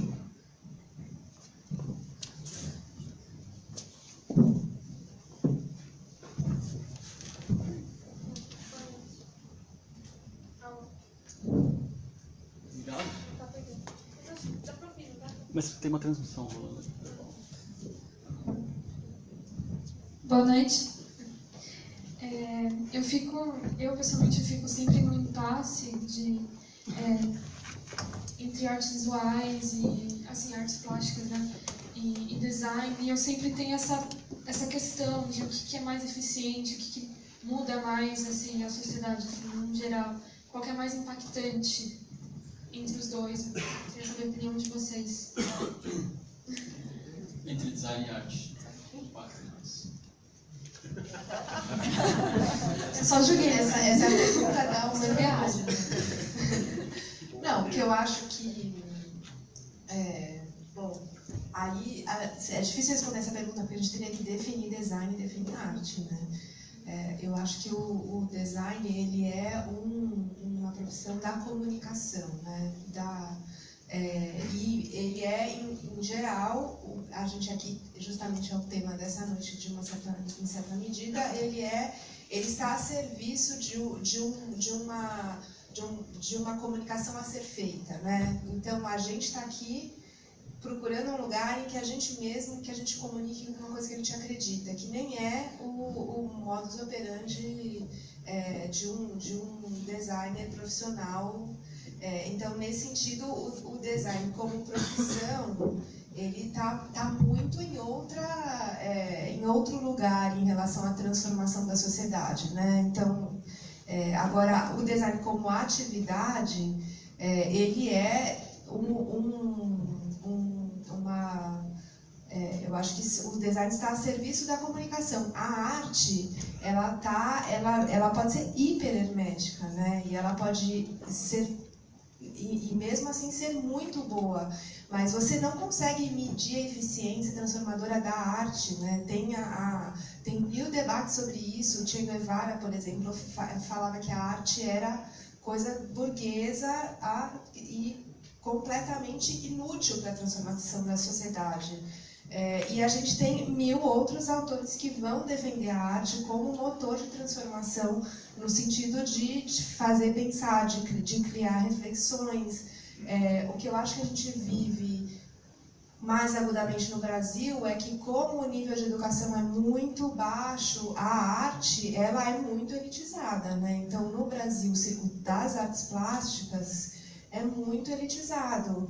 E sem nem falar no mercado, né? na questão do mercado, das galerias, e de, do, do, do que é do funcionamento disso, o quanto isso são pessoas de poder e pessoas muitas vezes com, com posicionamentos políticos duvidosos. Os artistas, muitos, sofrem muito com, com essa interface. Né? Agora, eu acho que é, a arte num mundo melhor, ela teria a capacidade de de, de comunicar com, com conteúdos compartilhados, é, ela tem, eu acho que ela tem uma capacidade de transformação mais profunda e mais subliminar. É, mas ela depende de um conteúdo compartilhado, que isso eu acho que no Brasil, no, no, no Brasil, no atual contexto, etc., é uma. Ele, a, a arte talvez não seja a, um instrumento de emergência, né? A arte ela vai transformar a sociedade de maneira muito profunda, mas numa outra temporalidade e atuando em camadas diferentes da sociedade, que uma camada que vai que tem uma absorção lenta em outras camadas, etc. Agora, o que eu acho que é uma grande angústia de quem, quem é artista é que a arte circula num circuito muito elitista no Brasil hoje, né? Então acho que é uma é uma o design ele é ele está em todos os lugares, né? Em todos os lugares. Agora a serviço do quê? Então é, ele é ele é um uma comunicação muito mais imediata. Ainda bem que a Elaine está aqui para responder para responder, né? Obrigado. É, eu acho que aproveitando então, já que a rodada foi de duas, como é que é seu nome, mano? Que perguntou antes? Guilherme. Da urgência, né? Acho que é o Guilherme. Acho que a questão da, tem um pouco a ver até com o que a Elaine falou, assim, né? O design é uma ferramenta, eu acho que é, a gente consegue medir de uma forma mais prática o que, que é urgente, por mais que tenham questões de fundo, né, que são comportamentais, antropológicas, que a gente vai trabalhar para mudar, é, com esse trabalho aqui do design ativista, eu acho que tem questões que são muito pragmáticas. Assim, né? Um mês atrás, a galera estava tentando aprovar o agrotóxico de volta, né, numa medida nunca antes vista na produção é, brasileira e a gente se juntou para produzir comunicação para barrar a aprovação e conseguiu segurar, né? Acho que o Pedro estava bem envolvido nisso também. E como que a gente conseguiu? Cara, a gente fez um monte de e-mail, um monte de peça e em algum momento a Gisele Bündchen postou no Instagram dela a parada que a gente tinha feito e aquilo ali tem um impacto no Congresso Nacional absurdo. As pessoas têm medo. Né? É real, é real. Isso aconteceu, isso é verdade, isso é uma coisa que está acontecendo. Isso aconteceu quando o Temer é, quando o Temer tentou impor a RINCA, né, que é a, uma reserva mineral no norte do país, e que ele queria acabar com aquilo, e a gente fez o mesmo movimento, a gente se organizou, antes de ter essa rede organizada como ela está hoje, a gente em poucos, é, comparado ao tanto de gente que tem aqui, a gente se organizou, produziu conteúdo, distribuiu pelos artistas, pela mídia, por outros canais que têm alcance, e essa parada bateu, cara, bate, bate mesmo entendo que isso tem um senso de urgência maior do que questões de longo prazo, que são importantes, né? Mas acho que o Pedro podia falar um pouco. Eu, eu, acho que, de novo, essa ideia de se, somar, né? de você vir com, com, com somar forças, né? Então, acho que um pouco do projeto pré antes que a gente estava fazendo era um grupo de WhatsApp falando, gente, a gente tem um, um, um, caso muito especial nesse ano. Inclusive, então, vendo em dezembro a coisa vai voltar. É assim, é ano de eleição, é, você tem esse, esse governo zumbi que virou um balcão de negócios, estão vendendo a Amazônia. A gente tem uma crise mundial que está chegando na Amazônia e, e, e, se formou um grande movimento, um movimento que chama hashtag Resista, que ele é o maior movimento, a maior coalição que existe de movimentos ambientalistas no Brasil, para tentar barrar todos esses retrocessos na Amazônia. Eles elegeram cinco, uma pá de, de problemáticas que estão tendo lá, o governo estava pensando é, cinco que eram é, casos muito, muito delicados, que vão desmantelar, sucatear a Amazônia, inclusive. Aproveitando a fraqueza do governo Temer, a bancada ruralista começou a se organizar de uma maneira como ela nunca se organizou para tentar realmente passar um monte de pautas, entre elas pele do veneno, licenciamento ambiental, é, liberação de caças de animais silvestres e tudo mais. E é, é, é o que acontece? O, o 342 que, que, que, que existe como plataforma de você distribuir isso, é, chega num momento onde as celebridades, as pessoas de longo alcance, a gente está falando de pessoas com mais de milhões de followers, né, a Gisele da vida, uma Anitta da vida, essas pessoas, é, elas se tornam humanas. Né, elas estão elas participando de um movimento onde elas precisam ser humanas, né, elas precisam mostrar sentimentos humanos. O, o Charles Gambino, This America, é um ótimo exemplo disso, né? que é um cara que já tem um trabalho que fala sobre racismo no Atlanta, na série dele. Né? Ele e o Hiro Murai fazem o This America indo no, no, no gatilho norte-americano, que é a questão de raça. Aqui no Brasil, a gente tem, tem um monte de gatilhos, só que a ideia do meio ambiente é uma, uma ideia segura. Porque quem é a favor de caça de animais silvestres no meio do? Quem é a favor de mais veneno no prato? A indústria. Né? Mas o, o, o alcance disso foi tanto na Pedra do Veneno, a gente conseguiu intoxicar essa pauta de uma maneira tão, tão bem feita, não bem feita, mas por, por, por média pressão e, e, e, pelo todo o trabalho junto com, junto com a Greenpeace, com o Ninja com o 342, que é, é, a bancada ruralista andou para trás. E a Globo chegou para a Greenpeace e falou: gente, a gente nunca viu a bancada ruralista andar para trás.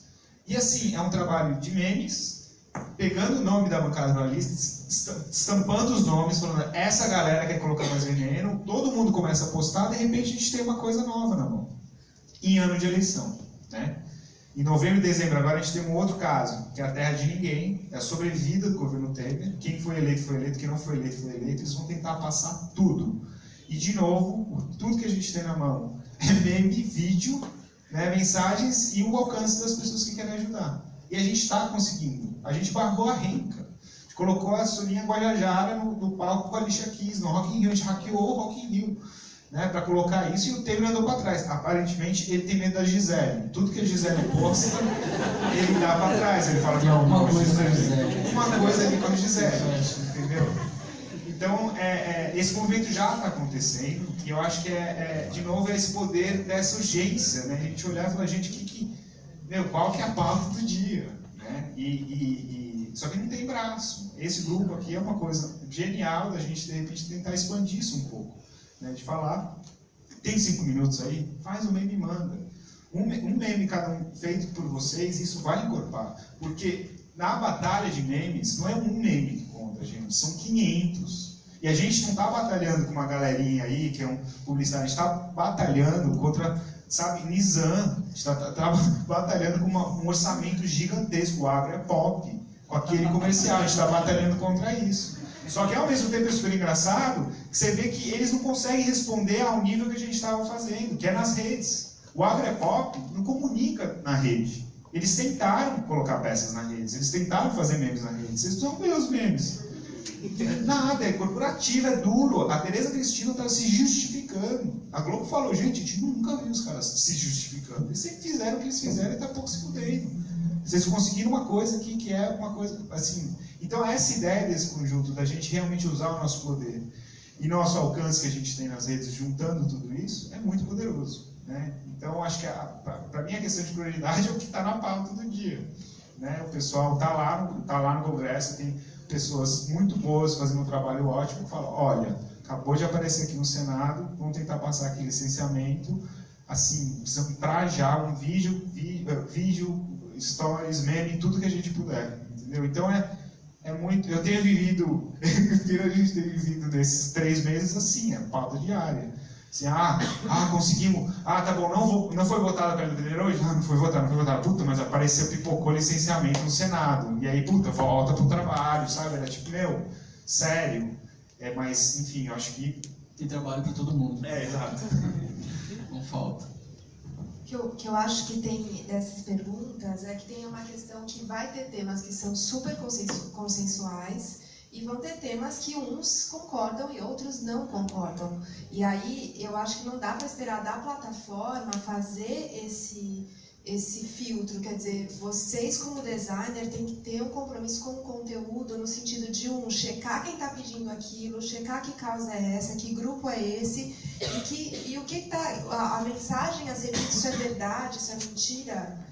Então, assim, eu acho que cada designer atuando, ele tem que ter uma responsabilidade de checar o background daquela, daquela demanda, porque não tem como a plataforma fazer isso, não tem como eles ficarem estudando quem está pedindo o que, esse é se é do bem ou se é do mal, e o que, que é o bem e o que, que é o mal, né? Então, acho que também dentro dessa, dessa atuação de, de lidar com conteúdos que vocês acreditam, tem que checar, tem que conferir, tem que pesquisar, porque não é sair fazendo o que aparecer, porque pode eventualmente pode ser uma mentira, pode ser uma fake news, pode ser uma causa que, que, é, que, é, que é um grupo dentro de uma história, mas que tem um outro grupo que é contra, e, e a sutileza de questões internas que a gente não vai necessariamente reconhecer de cara, né? Então, essa era uma dúvida que eu tinha sobre, eu acho que a plataforma pode ajudar, é, é, provavelmente não sei no Facebook, eu acho um pouco limitado, mas uma plataforma do site ajuda a organizar esse tipo de coisa, é, no sentido de criar grupos. Eu acho que sim, a gente tem as coisas das urgências e tem é, é, o, a coisa ganha profundidade quando a gente consegue trocar ideia com outras pessoas que estão fazendo a mesma campanha que a gente. Então, por exemplo, a gente está falando do aborto, a gente está falando é, da legalização do aborto, legalização da... Lógico que alguém vai se engajar numa causa mais do que a outra. E as pessoas, cada uma tem a sua especialidade, digamos, um desenho, outro traz dados, outro assim. E eu acho que a plataforma poderia ajudar no sentido de juntar é, grupos de conversa sobre uma coisa. Qual que é a melhor maneira de atacar? É, por exemplo, a gente está falando, sei lá, da legalização do aborto. Como é que a gente vai falar com pessoas religiosas sobre isso? A gente precisa desse feedback de algumas pessoas que entendam, de pessoas que tragam dados atualizados, porque às vezes a pessoa é ilustrador, é, sei lá, quadrinista. Aliás, queria lembrar que quadrinhos é arte e é revolucionário, grafite é arte, performance é arte. E a gente precisa de todas essas pessoas que estão é, de maneira que, que tem uma veia artística também para trazer, mas o design, de certa maneira, vai organizar isso. É, tanto para divulgar, porque não adianta você fazer uma performance que ninguém vai ver, para divulgar as coisas que as outras pessoas estão fazendo, ou com dados, trazendo dados, trazendo, é, é, como se diz, informação, ou até, por exemplo, uma redação bem feita, uma frase bem colocada, um slogan bem colocado. É, eu acho que não, a gente não pode cair numa de, pô, tem uma demanda aqui, quem vai fazer um meme? Eu acho que a gente tem que conseguir juntar grupos de pessoas, duplas de pessoas, para que juntas, juntando o melhor de cada um, a gente consiga até mesmo que a pessoa não faça nada disso, é consiga bolar uma estratégia de comunicação para cada um desses casos. Só vou fazer o advogado do diabo e falar, não precisa ser um ou outro. Eu acho que pode ser os dois. Eu acho que pode ter alguém pegar e fazer um meme e eu acho que pode um grupo se reunir. Sim. E, só que às vezes a urgência, a demanda é tão rápida que talvez em alguns momentos não dê para criar esse grupo para fazer uma estratégia e para fazer. É, então, então acho que talvez se algum grupo já estiver formado, é. se algum grupo já estiver mais ou menos formado, é, você já vai jogar dentro daquele. Sim. É, pô, tem um grupo que é feminista, que a gente adora essas demandas, sei lá, outro que é ecologista. É, eu não vou saber falar nada de ecologia, não adianta, eu vou ter que começar do zero, assim, mesmo que apareça aquele, aquela demanda, eu vou ter que começar do zero a, a entender do que se trata. Então, acho que a gente, se a gente conseguir que a plataforma nos ajude a já que cada uma pessoa é, esteja participando do, do, do, que se interessa e tem uma especialidade, esse é um ótimo ajudaria. Site, na verdade, porque a gente não tinha pensado na plataforma em usar ela para unir esses grupos também. Eu acho que é mais uma coisa para se pensar. Tem uma ali, depois ali. É, bom, a minha dúvida está mais na parte de comunicação e de como vocês enxergam é, a conversa com vários públicos porque ultimamente tem tido bastante conversa do que a gente fala do que é um, uma comunicação de certa forma elitista que vai conversar com a gente que é designer ou uma linguagem bem do marketing que a gente reconhece bem porque trabalha com isso. E, e como fica essa questão sabe para a gente não ficar parecendo uma campanha de marketing ou não sei se estou sendo confusa, mas como, a nossa, como vocês veem no caminho da linguagem, das campanhas, ou enfim, das coisas que são postas, porque a gente fala bastante dos memes, e eu acho que isso já é uma contraposição em relação a isso, como design como comunicação. E eu queria saber de vocês como vocês veem essa mudança de, de como o público recebe informação e como essa coisa do design perfeito meio que está Está surgindo uma. Eu acho que isso aí é a mesma coisa que eu falei para. Como que é o nome dela? Esqueci de voz ali. É, eu acho que é diversidade de vozes, sabe? Acho que quanto mais pessoas, a ideia é realmente fazer esse grupo crescer muito e muito na fala do Pedro, perder o controle, sabe? Muita gente, porque eu acho que quanto mais diversidade dessas vozes, essas vozes que vão conseguir falar é, mais próximo de alguém. Alguém que é religioso, porque, assim, a minha mãe, por exemplo, ela é evangélica, mas ela é a favor da legalização do aborto, porque para ela, ela divide as caixas, entendeu? Então, provavelmente, minha mãe, se ela disparar no grupo do, do, do dela, é, as pessoas vão ver ela. Eu querer me meter lá não vai fazer nenhum sentido. Então, eu acho que quanto mais a gente querer conseguir juntar a diversidade de vozes nesse grupo, a gente vai conseguir fazer isso de todas as formas, desde a forma clássica, gráfica, marqueteira, isso, aquilo, Eu acho que a, a, dúvida dela é um pouco você como designer, como criar uma linguagem que comunique para além do seu grupo, né? É, eu acho que ela está colocando, não a plataforma como vai funcionar, etc., mas é, eu acho que é, é, um, é um grande, é, é, a grande questão disso tudo, de, do ponto de vista da linguagem, é a grande questão.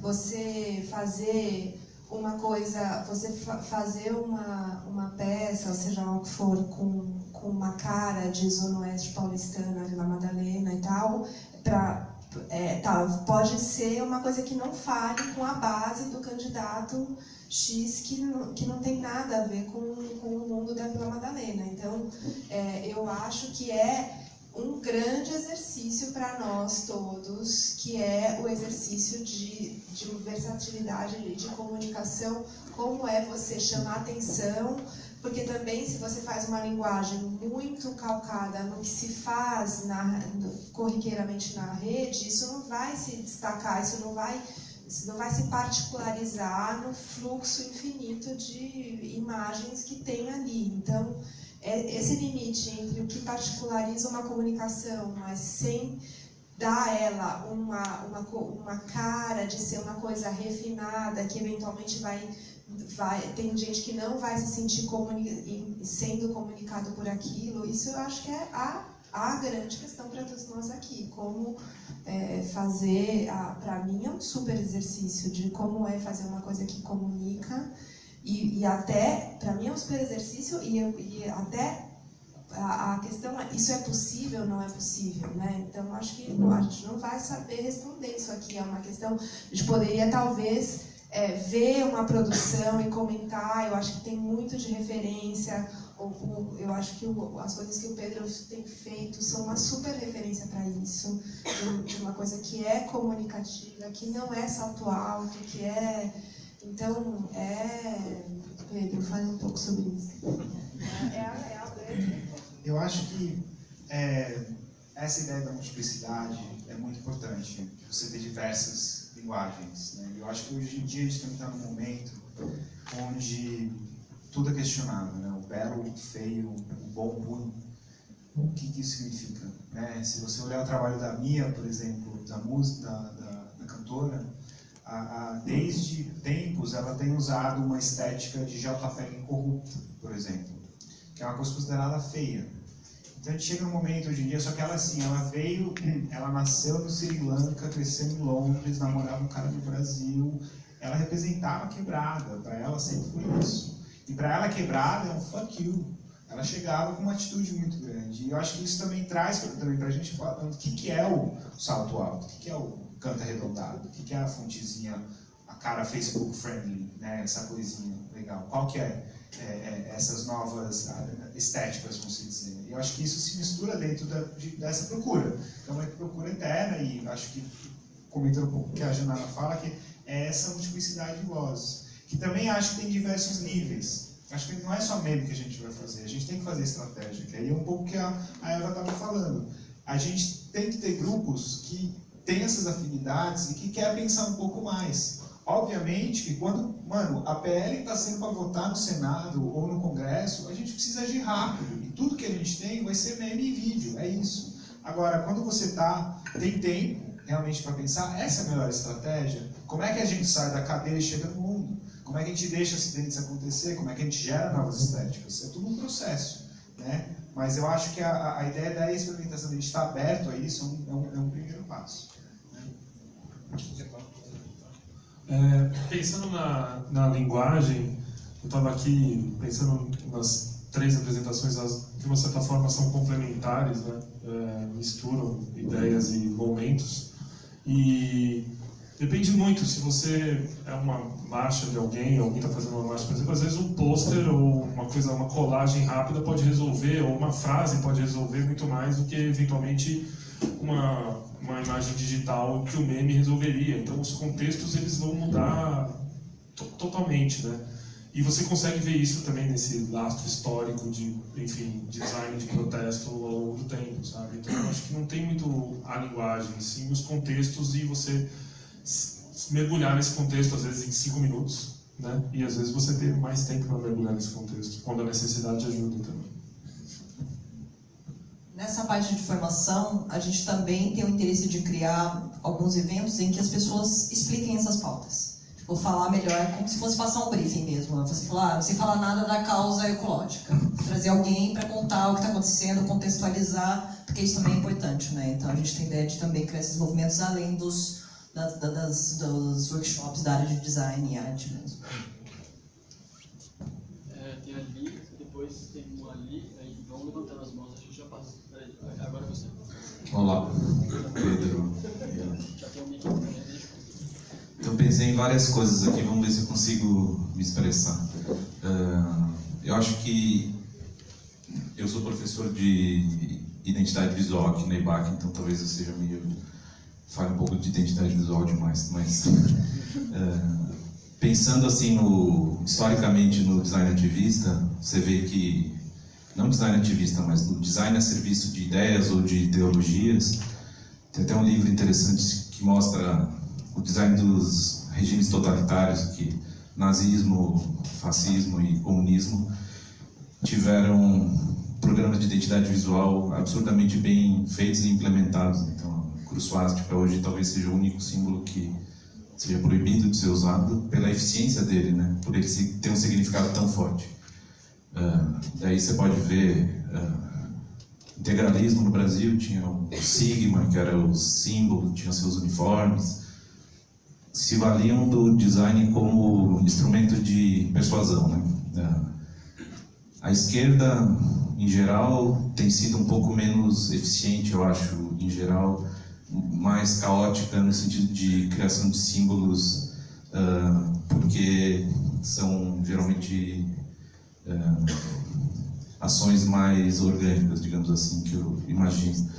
É, eu tenho visto, eu participei de várias coisas de causas, como a gente está criando até, criei a marca da, da bancada ativista, identidade, esse ano, ano passado a gente fez da Marcha da Maconha, esse ano tenho feito algumas coisas para políticos e causas, etc. E o que eu sinto às vezes é que a direita, digamos assim, sendo claro, se usa símbolos como, sei lá, o pato da Fiesp ou o pichuleco, que são extremamente eficientes e criam campanhas com agências de propaganda e conseguem transmitir mensagens de uma forma bem eficiente. E às vezes, quando você junta as equipes para fazer os trabalhos de design ativismo, como por exemplo Marcha da Maconha ou etc., são muitas pessoas juntas com boa vontade, mas às vezes que saem coisas totalmente cada uma sai de um jeito. Não sei se é bom ou se é ruim, mas assim, às vezes você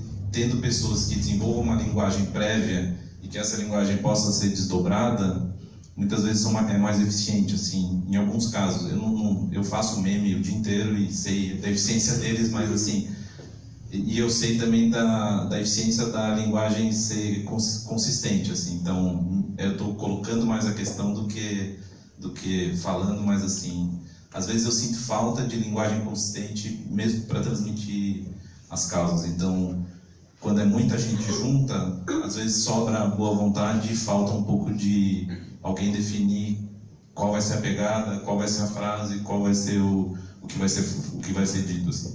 é o que eu senti das coisas que eu fiz nos últimos anos. Assim. Nossa. Boa noite a todos, tudo bom? Primeiro agradecer e parabenizar as exposições, muito bacana. É, eu acho que minha pergunta vai muito de encontro com o que estava falando, que uma percepção que eu tenho, o design hoje como forma, como uma atividade, a, a educação é muito voltada para a questão de mercado, e voltando para a questão do design a serviço da sociedade e tudo mais. É, entendo que atividade de agora, que é algo latente, mas eu fiquei com uma certa dúvida a respeito do se movimento, a plataforma vai contar com algum tipo de, de ideia assim na questão de orientar essas, a galera mais nova, a galera que está começando agora, que é muito do que você falou, é, sobra boa vontade, mas às vezes falta uma orientação. E o manifesto que vocês pensam em fazer, vocês não, né? Que é algo mais conjunto, mais, Nós. mais colaborativo, mais nós. É, existe alguma ideia, tipo, um trabalho, agora que seja mais a longo prazo, na questão da orientação dessas novas pessoas que sobram de boa vontade, como colocou, mas faltam de fato um pouquinho de orientação? Eu vou tentar fazer uma ponte entre as duas falas, e acho que também a sua tem um pouco a ver, todo mundo falou um pouco, é, tentando também. E aí a gente passa, a gente passa jogo rápido. Você quer falar? Tá. Rápido, assim, eu acho que a gente está criando uma plataforma e por ela vão fluir diferentes linguagens, diferentes necessidades, diferentes linguagens. O mais importante agora é a gente ter uma plataforma, ela não existe, né? um sistema. A gente está se esforçando para não sair disparando demanda ali no grupo, por exemplo, porque a gente acha que é importante a gente construir um sistema que seja eficiente, que a gente consiga conectar a demanda com quem vai estar capacitado a realizar aquela demanda, com o tempo necessário para realizar aquela demanda. Verdade, a gente de uma coisa muito prática, assim. Então, é, eu acho que o debate da linguagem é importante e a gente está, inclusive hoje, né, fazendo uma atividade de formação puxada por esse grupo, porque a gente acha que isso, né, quanto mais referência, quanto mais aprofundado, aprofundado tiver a compreensão da realidade, melhor vai ser o trabalho desse design ativista. Né? Acho que a fala da Elaine é genial quando ela fala assim, cara, apura você se aquela demanda lá é real. Isso é muito louco, porque é muito realista, entendeu? Não vamos jogar a expectativa para uma plataforma ou para um sistema de que ele vai ser imune a esse tipo de coisa. Na verdade, se todo mundo for consciente o suficiente, esse tipo de coisa vai existir menos. Assim. Então, eu acho que talvez me pareça um, um falso dilema no sentido de que a gente tem uma plataforma forte, com gente interessada, disposta, o que não falta é necessidade dos movimentos que estão precisando mesmo. Assim. Então, por um lado, a gente tem um debate um pouco subjetivo em relação à linguagem, por outro, tem gente morrendo na cerca do MST lá nas ocupações do Brasil inteiro. E esse, esse é um papo meio reto que também a gente tem que entender aqui, galera. A gente está falando de um grupo majoritariamente de classe média, muito privilegiado, que teve acesso a recurso, estudo e anos de escola, e que se não entender que tem que dedicar parte desse tempo, desse privilégio para coisas que não foram privilegiadas, cara, fudeu, porque é disso que se trata. Na verdade, a gente reverter esse privilégio que a gente tem em prol das causas que não têm recurso, acesso, tecnologia, informação para conseguir comunicar eficientemente as suas causas, que eles sabem melhor do que ninguém quais são e por que são e por que são urgentes, e por que são é, necessárias. Então, eu acho que também da nossa parte, enquanto designers, enquanto comunicadores, que tem um extenso vocabulário e visual e tal, eu acho que também a gente tem que botar o pé no chão e entender que a gente tem que cumprir umas certas missões em cima das necessidades reais, concretas desses movimentos, entendeu? E que todo esse repertório vai ter que servir para isso, e não o contrário. Senão a gente vira um grupo de discussão. E aí, mano, é o que a gente falou no começo, tipo, tá cheio, cara, tá cheio. E, e é um pouco, na primeira reunião a gente falou que o bagulho foi massa, assim, a gente falou que também veio organicamente. Que é, tipo, e o, o manifesto está começando assim, a gente está redigindo ele, pessoas que de escrever, que queiram participar, são bem-vindas mas ele meio começa assim: se vens em busca de dinheiro, estás no lugar errado. Tipo, é meio. É, acho que a gente acha um pouco isso, entendeu? Não é grana, não é reconhecimento pessoal, não é essas coisas que tem que trazer cada um e cada um aqui para colaborar com uma parada dessa. É, e isso organicamente vai acontecer com um negócio dando certo. Né? O caso do, do campanha de mulher, né? o Kaique está aqui, que pegou para fazer a marca de, de um dia para o outro, e a gente lançou o bagulho está com 20 mil no Instagram, seguidores, assim, já está acontecendo, é um puto exemplo disso, né? Que, mano, vamos fazer, vamos fazer, e fazendo a gente vai descobrir esses caminhos, assim, acho que também, a partir de, é, é um pouco, esse encontro também ele tem que ter um tom de convocação, assim, é para isso que serve, senão a gente vai vir só aqui no cobrar e, tipo, sair, né? Então, é mais uma provocação para as falas que estão colocadas, não estou desmerecendo de maneira nenhuma o questionamento, mas acho que ele serve para a gente também falar assim, por que, que a gente está fazendo essa parada, né? Quem que tava? É, eu. Um ali, depois fica. Johnny, tá aí na frente? Se você quiser levantar para falar, sim. Não, está aí na minha frente. Tá meio caótico, mas ó, tem você, o Kaique tá aqui comigo. Quem mais tá aqui? Tem uma ali, tem um. Ah, você tava na fila. Tá, vamos se organizar pra. Só complementar o pensamento deles dois, desse tipo de ser um pouco. Só, vai lá, vai lá, vai lá. É porque assim, ver o campanha de mulher pra mim realmente parece muito louco, assim, da um e eu fiz. Mas, por exemplo, agora eu, eu, eu tô encabeçando aqui com mais três, uma. Um, é um projeto, eu não sei o que chama. Enfim, um projeto assim para ajudar, que é uma causa que ela existe, ela é latente, mas ela não é necessariamente urgente. Ela vai um pouco contramão do que está sendo falado aqui, que é abandono de animal de rua, enfim, animais, gatos e tal. Então, assim, a gente está fazendo com muita calma, é, a gente está estudando, então, então isso vem muito assim, de acordo com o que você quer pegar e o tempo que você tem nele. Se, se, se, a sua causa é urgente, vai nela. Vai ser realmente uma coisa mais bem pensada, que já vai um pouco mais no meu perfil, por exemplo, então eu vou com coisas que são mais devagar. Mesmo que seja algo mais urgente, mas não, legal, a galera tá fazendo meme aqui, fazendo algo mais rápido, mas junta com mais dois ali, sei lá, vamos pensar algo mais a longo prazo e que seja mais efetivo. Assim, acho que assim, é, a plataforma é livre. Eu cheguei lá e falei, gente, alguém se importa aí com animais comigo? E aí vieram, somos três agora no grupo do WhatsApp. É isso. Fala você aqui, mas depois eu te passo para eu, na verdade, eu queria só fazer dois pontos assim que tem a ver com essas últimas coisas que foram faladas. Em primeiro lugar, essa questão do lugar de privilégio, né? A gente tem aqui pouquíssima presença de negros e pessoas pobres. E aí, na verdade, assim, o que eu queria fazer é um convite pessoal de que cada um de nós, o que, que cada um de nós pode fazer para trazer essas pessoas periféricas para esse debate, fisicamente, para essas conversas. Então, é um convite e eu queria fazer um comentário em relação a essa questão da qualidade gráfica que tem sido exaltada. Eu acho que, assim, para cada pôster legal que o Marcelo mostrou, houveram 20 panfletos de xerox. Entendeu? Então, assim, é muito legal. A história vai contar e vai ficar determinadas coisas que tem um aspecto gráfico que foi apreciado naquele momento. E aqueles 20 e tantos ou milhões de xerox que aconteceram têm seu papel também. Então, eu acho que mais vale um meme pronto em 5 minutos do que um pôster para emoldurar na sala do, da Zona Oeste. Então, só essas duas coisas. Depois, quem mais aqui? Levanta a mão, você daí que tá com. Peraí, só o Johnny. Vai, Johnny. Boa noite. É, é, a gente falou bastante aqui sobre comunicação na internet, basicamente, e acho que faz todo sentido. Acho que mais do que nunca essa eleição vai, vai pesar muito nisso. Eu acho que, sem dúvida, é, é algo urgente, importante. É, mas pensando em exemplos também como o movimento de liberação gráfica da Espanha, é, que eles tinham umas táticas de tipo, marcava um dia e todo mundo que tinha produzido cartaz, ou seja lá o que fosse, também tinha essa, essa característica de plataforma aberta, é, ia para rua e colava, no mesmo dia quem fez é, coisa a internet postava. É, minha pergunta é se, é, paralelamente a isso, existe algum plano de, de ação nas ruas, de ocupação das ruas, é, porque a gente sabe que talvez em casos mais urgentes é, a internet ela vai ser super eficiente, mas o que está na rua tem uma força ainda muito grande e dialoga com pessoas que talvez o que está na internet não vai chegar. Então, se tem, se tem algum plano, se de repente tem essas abertas sugestões nesse sentido de tanto é, ocupação na rua quanto essas ações pontuais, sabe, planejadas. Tipo, hoje é um dia que todo mundo vai postal, todo mundo vai colar. Tá no, tá no plano sim, Johnny. Tem gente que já está colando nas reuniões que são pessoas que, de cartaz e de rua. A gente quer fazer uma oficina com o Bueno que faz lambe para a galera aprender a fazer a cola, a colar e tal, etc. Então é, é, vai, vai acontecer, vai rolar. Inclusive você que já faz isso pode, inclusive, eu acho que participar dessa formação das outras pessoas. Coordena aí.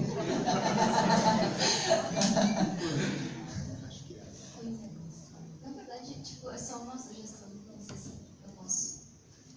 Enfim, uh, eu tava pensando que, tipo, se fosse a plataforma escolhida fosse um aplicativo, tá? Que tivesse, tipo, alertas pra, ah, tipo, vamos chamar a galera pra fazer tal coisa.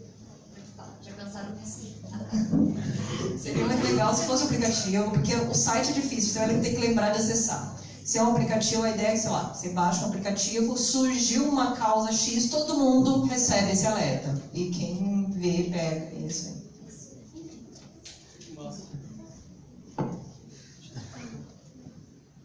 Só, tem, tinha mais gente querendo falar, galera. Só pra gente circular e depois volta. Gente, boa noite. É ouvindo que vocês falaram do projeto, eu lembrei de um projeto que eu fiz do meu TCC, que se chama Quebrada, que era é, usar a cultura do Zine para levar design para pessoas que estão fora, e a gente usava memes mesmo para ensinar essas coisas. E aí eu queria saber, assim, teve essa ideia de, vocês pensam só ter grupos de designers levando para o mundo? Não. Gutierrez, é, de, de ir no próprio onde está acontecendo o movimento e, e armar essas pessoas para elas saibam o básico de design para se virar sozinhas. Exatamente, por isso que é tão importante que o Juliano falou, trazer mais pessoas que estão nesses lugares. A gente teve uma variação de público de acordo com os lugares também. Assim, por exemplo, quando a gente fez lá no Baixo Augusto, acho que por ser centro, é, colou muito mais gente de vários rolês diferentes e tal. Então, acho que os lugares acabam né, guiando um pouco. Não, e cada um, cara, tá completamente autorizado no sentido de que mundo pode se organizar em coletivos dentro desse rolê e propor ações, assim, né? Um pouco que a gente tá falando, assim, não depende de um núcleo que tá... Depende, putz, mano, eu tenho a galera dos direitos animais ali se juntou, tem um WhatsApp, estão fazendo as paradas, estão contactando as ONGs, estão tocando. Se a pauta é X ou Y, acho que essa parada do Zine mesmo, juntar a galera do Zine, pensar ações, a galera do posto, do cartaz na rua, é meio que uma brincadeira que a gente faz também, que quem propõe coordena, tem uma ideia divertida para entender que né, tudo depende, tudo isso que vai acontecer ou não, de acordo com quanto cada um botar de tempo para essa parada acontecer. Se não botar ninguém botar tempo e energia, a parada vai ser uma ideia. Se não botar tempo e energia, ela vai ser uma coisa real que está acontecendo. A ideia é de somar, né, pessoal? A gente está aqui para somar e para. A, gente pode ficar criticando, pensando qual que é melhor da plataforma, só que está um 7 a 1 todo dia. Está horrível a situação. Então vamos fazer. É um pouco isso. Pensou na, pensou na ideia? Soma aí, chama pessoas, vamos, vamos criando, entendeu? Cada um faz seu trem e a gente vai se encontrando. Né? Se a gente ficar aqui, a Advance sempre sofreu muita crítica. E a crítica era assim: você não está fazendo do jeito certo, o meu jeito é o certo. Aí não vai colocar nenhum. Entendeu? eu estou fazendo meu trabalho aqui, você faz seu trabalho ali, a gente faz seu trabalho ali, a gente pode se dar toque e tudo mais, mas se a gente ficar numa ideia de que isso daqui só sai do chão se a gente tiver um sistema completo, elaborado e tudo mais, não realmente vai sair. Acho que essa soma é muito importante. E o grupo lá no Facebook, por enquanto, enquanto não tem plataforma, então, etc., ele está sendo bem útil para isso, porque você pode abrir um post e falar, eu estou afim de fazer isso, ver quem responde, chama ali no inbox, cria sistema. É, tipo, a gente pintou o debate do Bolsonaro no Roda Viva, que foi, né? A gente foi lá e postou uma arte, inclusive o Jota tinha feito, no Designers Unidos, que é um coletivo que não, tem, não é necessariamente do design ativista, mas está construindo uma história. A gente postou lá e uma galera começou a mandar os memes próprios, assim, tipo, uma, a gente falou assim, memes do Bolsonaro, e aí veio umas 20 mensagens, não você mandou, sabe? Eu acho que o grupo já tem hoje possibilidade de a gente se organizar nesse sentido. Tipo, galera, tem uma pauta aqui, pô, a gente pode ir avançando nisso, pouco a pouco, de forma bem pragmática, né? E a gente tem um esforço hoje, né, com uma parte da galera que vai se dedicar mais a isso, a conseguir olhar alguns briefings e demandas de movimentos X ou Y que a gente acha que são legais, tentar minimamente fazer eles se encontrarem com pessoas legais, que é o que a gente já faz o tempo inteiro. Né? Eu, eu, na minha vida, faço muito isso. A gente fica vendo as necessidades passando. Então, quem já tiver disposto, não é que tipo, ninguém precisa esperar a plataforma estar tá pronta para começar a montar. Né? O grupo já está lá, quem tiver disponibilidade, procura, se disponha, porque, velho, pauta não nos falta, assim, mesmo. Tem muita coisa para ser feita e, e, pô, e é do caralho porque tem muita gente nessa sala. Desde o começo ainda tem muita gente. Tá ficando tarde, a tá aqui ainda. Então, tesão também para fazer, parece que não é um problema, assim. Tem muita gente tá afim de fazer a parada, basta a gente se organizar mesmo. E, enfim, enquanto designers, que às vezes a gente se acha meio iluminado de saber tudo, cara, botar o pé no chão, saca? E entender as demandas, é, se, se dispor para elas, de quem está precisando. Acho que é um pouco isso, assim, né? É sair de um lugar de também achar que sabe tudo. Né? Muitas vezes a gente não sabe nada, a gente não entender, e aí, com certeza, a fala do Xerox eu acho que é perfeita. O meme é o Xerox, né? É muito Xerox, cara. Muito Xerox, ao mesmo tempo isso gera a possibilidade, fortalece a cultura do design, da comunicação dos movimentos, eles começam a ser mais exigentes começam a ter ideias novas também. Quando o movimento tem acesso ao design, começa a ver que aquilo é possível, ele começa a criar demandas que nem existiam. E acho que aí a gente começa a chegar num lugar meio luz azul, assim, que tudo é possível. E que a gente vai conseguir chegar em lugares muito doidos mesmo. Assim. É só a gente, velho, ir pra cima, entendeu? É um pouco motivacional, mas eu acho que é, é isso, né? não tem um grande dilema colocado, tem uma uma oportunidade, na verdade, um momento ótimo pra gente tocar isso, a eleição tá aí, o Bolsonaro tá bombando, entendeu? tem mil coisas, é um tema, né? É um tema. A gente pensou em abrir só um específico, design ativista para quem não aguenta mais o Bolsonaro. Botar a galera lá para fazer meme, porque... Enfim, se alguém tiver mais coisas, também a gente está meio que chegando no horário que as pessoas estão começando aí. A gente podia fazer as últimas três aí.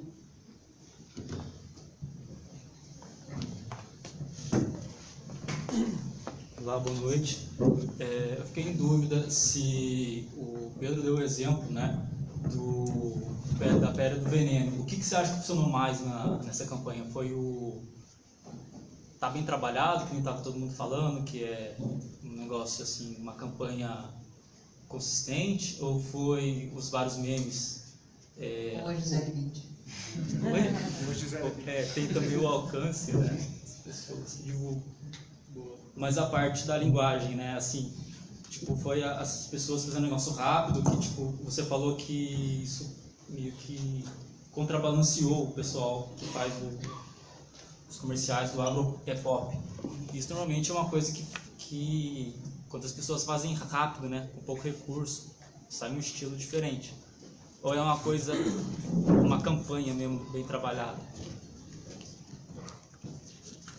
Vamos fazer as três e a gente encerra, tem uma galera precisando aí também. Tá, é, nossa, Boa noite. É, eu tive nos primeiros encontros aí do design ativista e, igual ele falou, desse grupo acabou saindo um grupo mais voltado para combater o Bolsonaro, aquele pessoal lá de guerrilha, que vai mais para as ruas e para fazer mais ações mais práticas para combater ele. Então, até o convite que para quem quiser fazer parte, eu acho que é legal.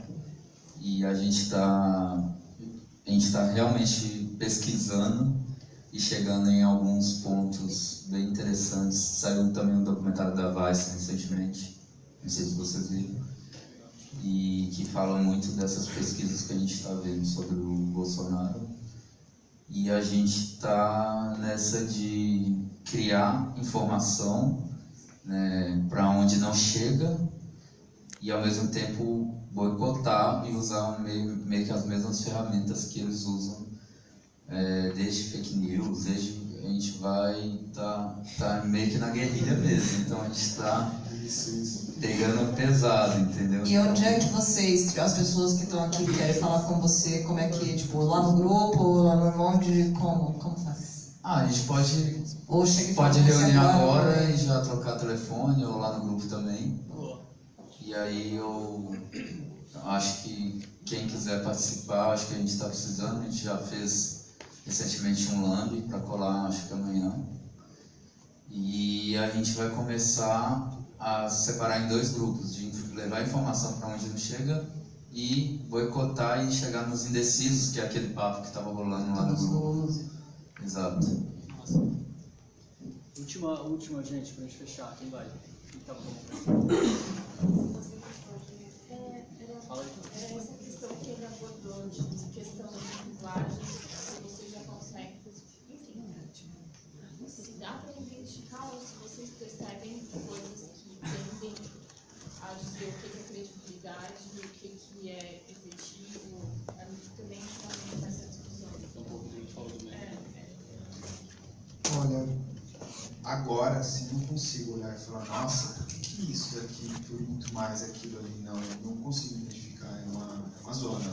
É, eu olho e falo assim, por que, que a Gisele postou isso daqui? Não postou aquilo. Mas é engraçado, é uma coisa que você depende um pouco de total do senso estético da pessoa, pessoal e tudo mais. E tem uma coisa também de, ah, aquele meme que foi mais postado. Então, por exemplo, o, o cabelo da Bijari criou a, a caveira que a Gisele postou. E a Tica, que estava em Brasília, é, é, é, chegou com diversos pôsteres. E diversos deputados chegavam para pegar o pôster e colocar na frente do, do, do, lugar de voto dele ali no Congresso, para mostrar que ele era contra a pele do veneno. Virou um símbolo. Só que todo mundo queria caveirinha. Aí as pessoas, a Marina que estava lá, que é a responsável que levou a Paola, levou a Carosella que levou a Bel Coelho e tudo mais, ela, ela guardou um para ela. E aí veio, acho que, não sei, acho que era um Molu, não sei, alguém que chegou e falou assim, deixa eu ficar com falei assim, não, esse aqui é meu, mas se quiser eu te empresto. Sabe, ficou uma coisa que também, não sabe por quê. Parece que é um símbolo também, né, ganha essa, esse poder. Tem, tem, obviamente tem todo o expertise, que é uma, uma, simplicidade muito, muito direto. O cabelo da Bijari, quem conhece o trabalho da Bijari, eu super recomendo que vocês vão atrás. É, a ideia de a gente trazer ele também para uma conversa, né, possivelmente, mas é, é um trend no, no, todo, né? eu acho que eu não consigo realmente é, é falar, ah, isso daqui funciona mais, isso daqui funciona menos. Né? Acho que tem, para mim, quanto mais níveis tiver, melhor. Porque aí você tem um pouco essa gama né, de, de poder atacar de todos os lados. Né? Assim como que ele estava falando em relação à própria campanha do Bolsonaro. Você tem que ser múltiplo. Você tem que pensar em diversas coisas. Se você levanta uma bandeira, ela fica muito mais fácil de ser quebrada. Então, se você pega ela na, na, na, nessa diversidade, agora o que funciona, o que não funciona, não sei, tá? é meio processo, meio beta. A gente vai ser beta para sempre, a gente nunca vai estar finalizado, sabe? É beta forever. A gente está lá todo dia testando coisa e colocando. Talvez algum dia eu acho que a gente chegue, por exemplo, o que o Forrest estava falando em relação a, a essa grande ideia, né? De você chegar e ter uma grande centralidade ou talvez não. É, eu pus como uma. É, é, é. O pai, eu acho que é uma coisa interessante, que, se, que teve uma multiplicidade de ideias que saíram dali, desde jornal, símbolos, camiseta, banners, quantidade de coisa, que eu fico um pouco nervoso também, que não tem uma certa centralidade, mas é orgânica, é do mundo, não é de ninguém, é de todos e não é de ninguém, é uma, é, é, é tem uma potência muito grande isso. Mas, ao mesmo tempo, a gente estava vivendo uma era pós-Trump, Bolsonaro. Então, é realmente uma questão interessante para a gente perguntar. Vale a gente repensar essa centralização ou não? É orgânico mesmo e vamos aí, vamos que vamos. Vai fazer. Então, é uma questão muito... Né? E voltando à ideia, gente, é para somar. Para somar, entendeu? Você quer uma coisa é, é para participar. Está horrível a situação. Espera da gente chegar e dar a demanda para vocês. Traz a demanda, pensa, começa a fazer que isso é, é, parte da ação diária de todo mundo. Né? A gente vive no Brasil, a gente não vive na Noruega. Né? Enfim, a gente tem, as pautas aqui são muito difíceis e todo dia é uma coisa absurda acontecendo. Né? Então, acho que assim, para as pessoas que têm essa sensibilidade, que trabalham com, o, tipo de trabalho que a gente faz, acho que é super importante essa ideia de somar, de cada um vai fazendo o seu e a gente vai se encontrando às vezes é o Xerox que nem estava falando. Se você for pegar, por exemplo, só um exemplo rápido, o pessoal da Ouvidura 63, que é uma ocupação artística que tem aqui em São Paulo, eles são artistas, eles não precisam de uma demanda artística. O que eles precisam é de fio, é, fio elétrico, cabeamento, é, eles precisam de ajuda em outras coisas. As demandas deles são outras. Então, às vezes, você estar no lugar e entender a demanda também, às vezes não é nem a linguagem, às vezes é uma, outro tipo de demanda que, que alguns desses grupos, ou, enfim, é, movimentos precisam.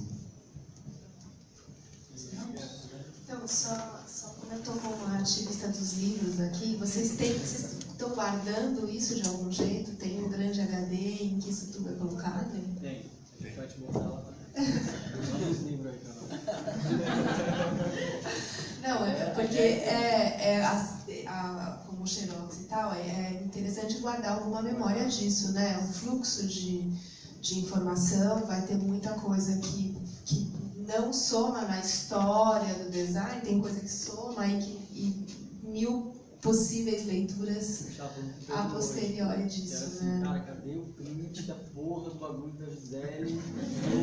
a gente achou. Caraca, virou quase um mito já. É, ter, ter, uma, ter uma preocupação em, em registrar isso e ter uma memória interessante.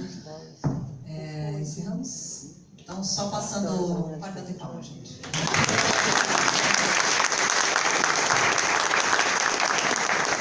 Só repetir alguns recados que a gente sempre repete no final. Entre no grupo. Eu acho que quanto mais a gente colocar naquele grupo, melhor. Quanto mais pessoas vocês pensarem que não estão aqui, mas vocês acham que se interessam pelo assunto para convidar para o grupo, melhor ainda. É, se vocês fizerem alguma coisa, algum meme, algum pôster e tal, postarem no Instagram, usem a hashtag designativista, porque aí a gente já consegue achar algumas coisas para espalhar, para postar. Eu sempre estou vendo por aí, eu marco no Dia Ninja sempre que eu vejo alguns e tal. E acho que é isso. Alguma coisa? Cadastro, que está na inscrição. Né? Quando você entrar no grupo, tem duas perguntinhas e o formulário. Por favor, preencha o formulário. Obrigada.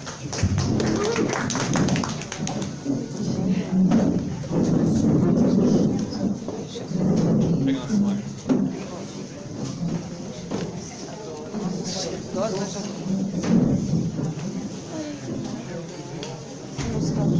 Vamos.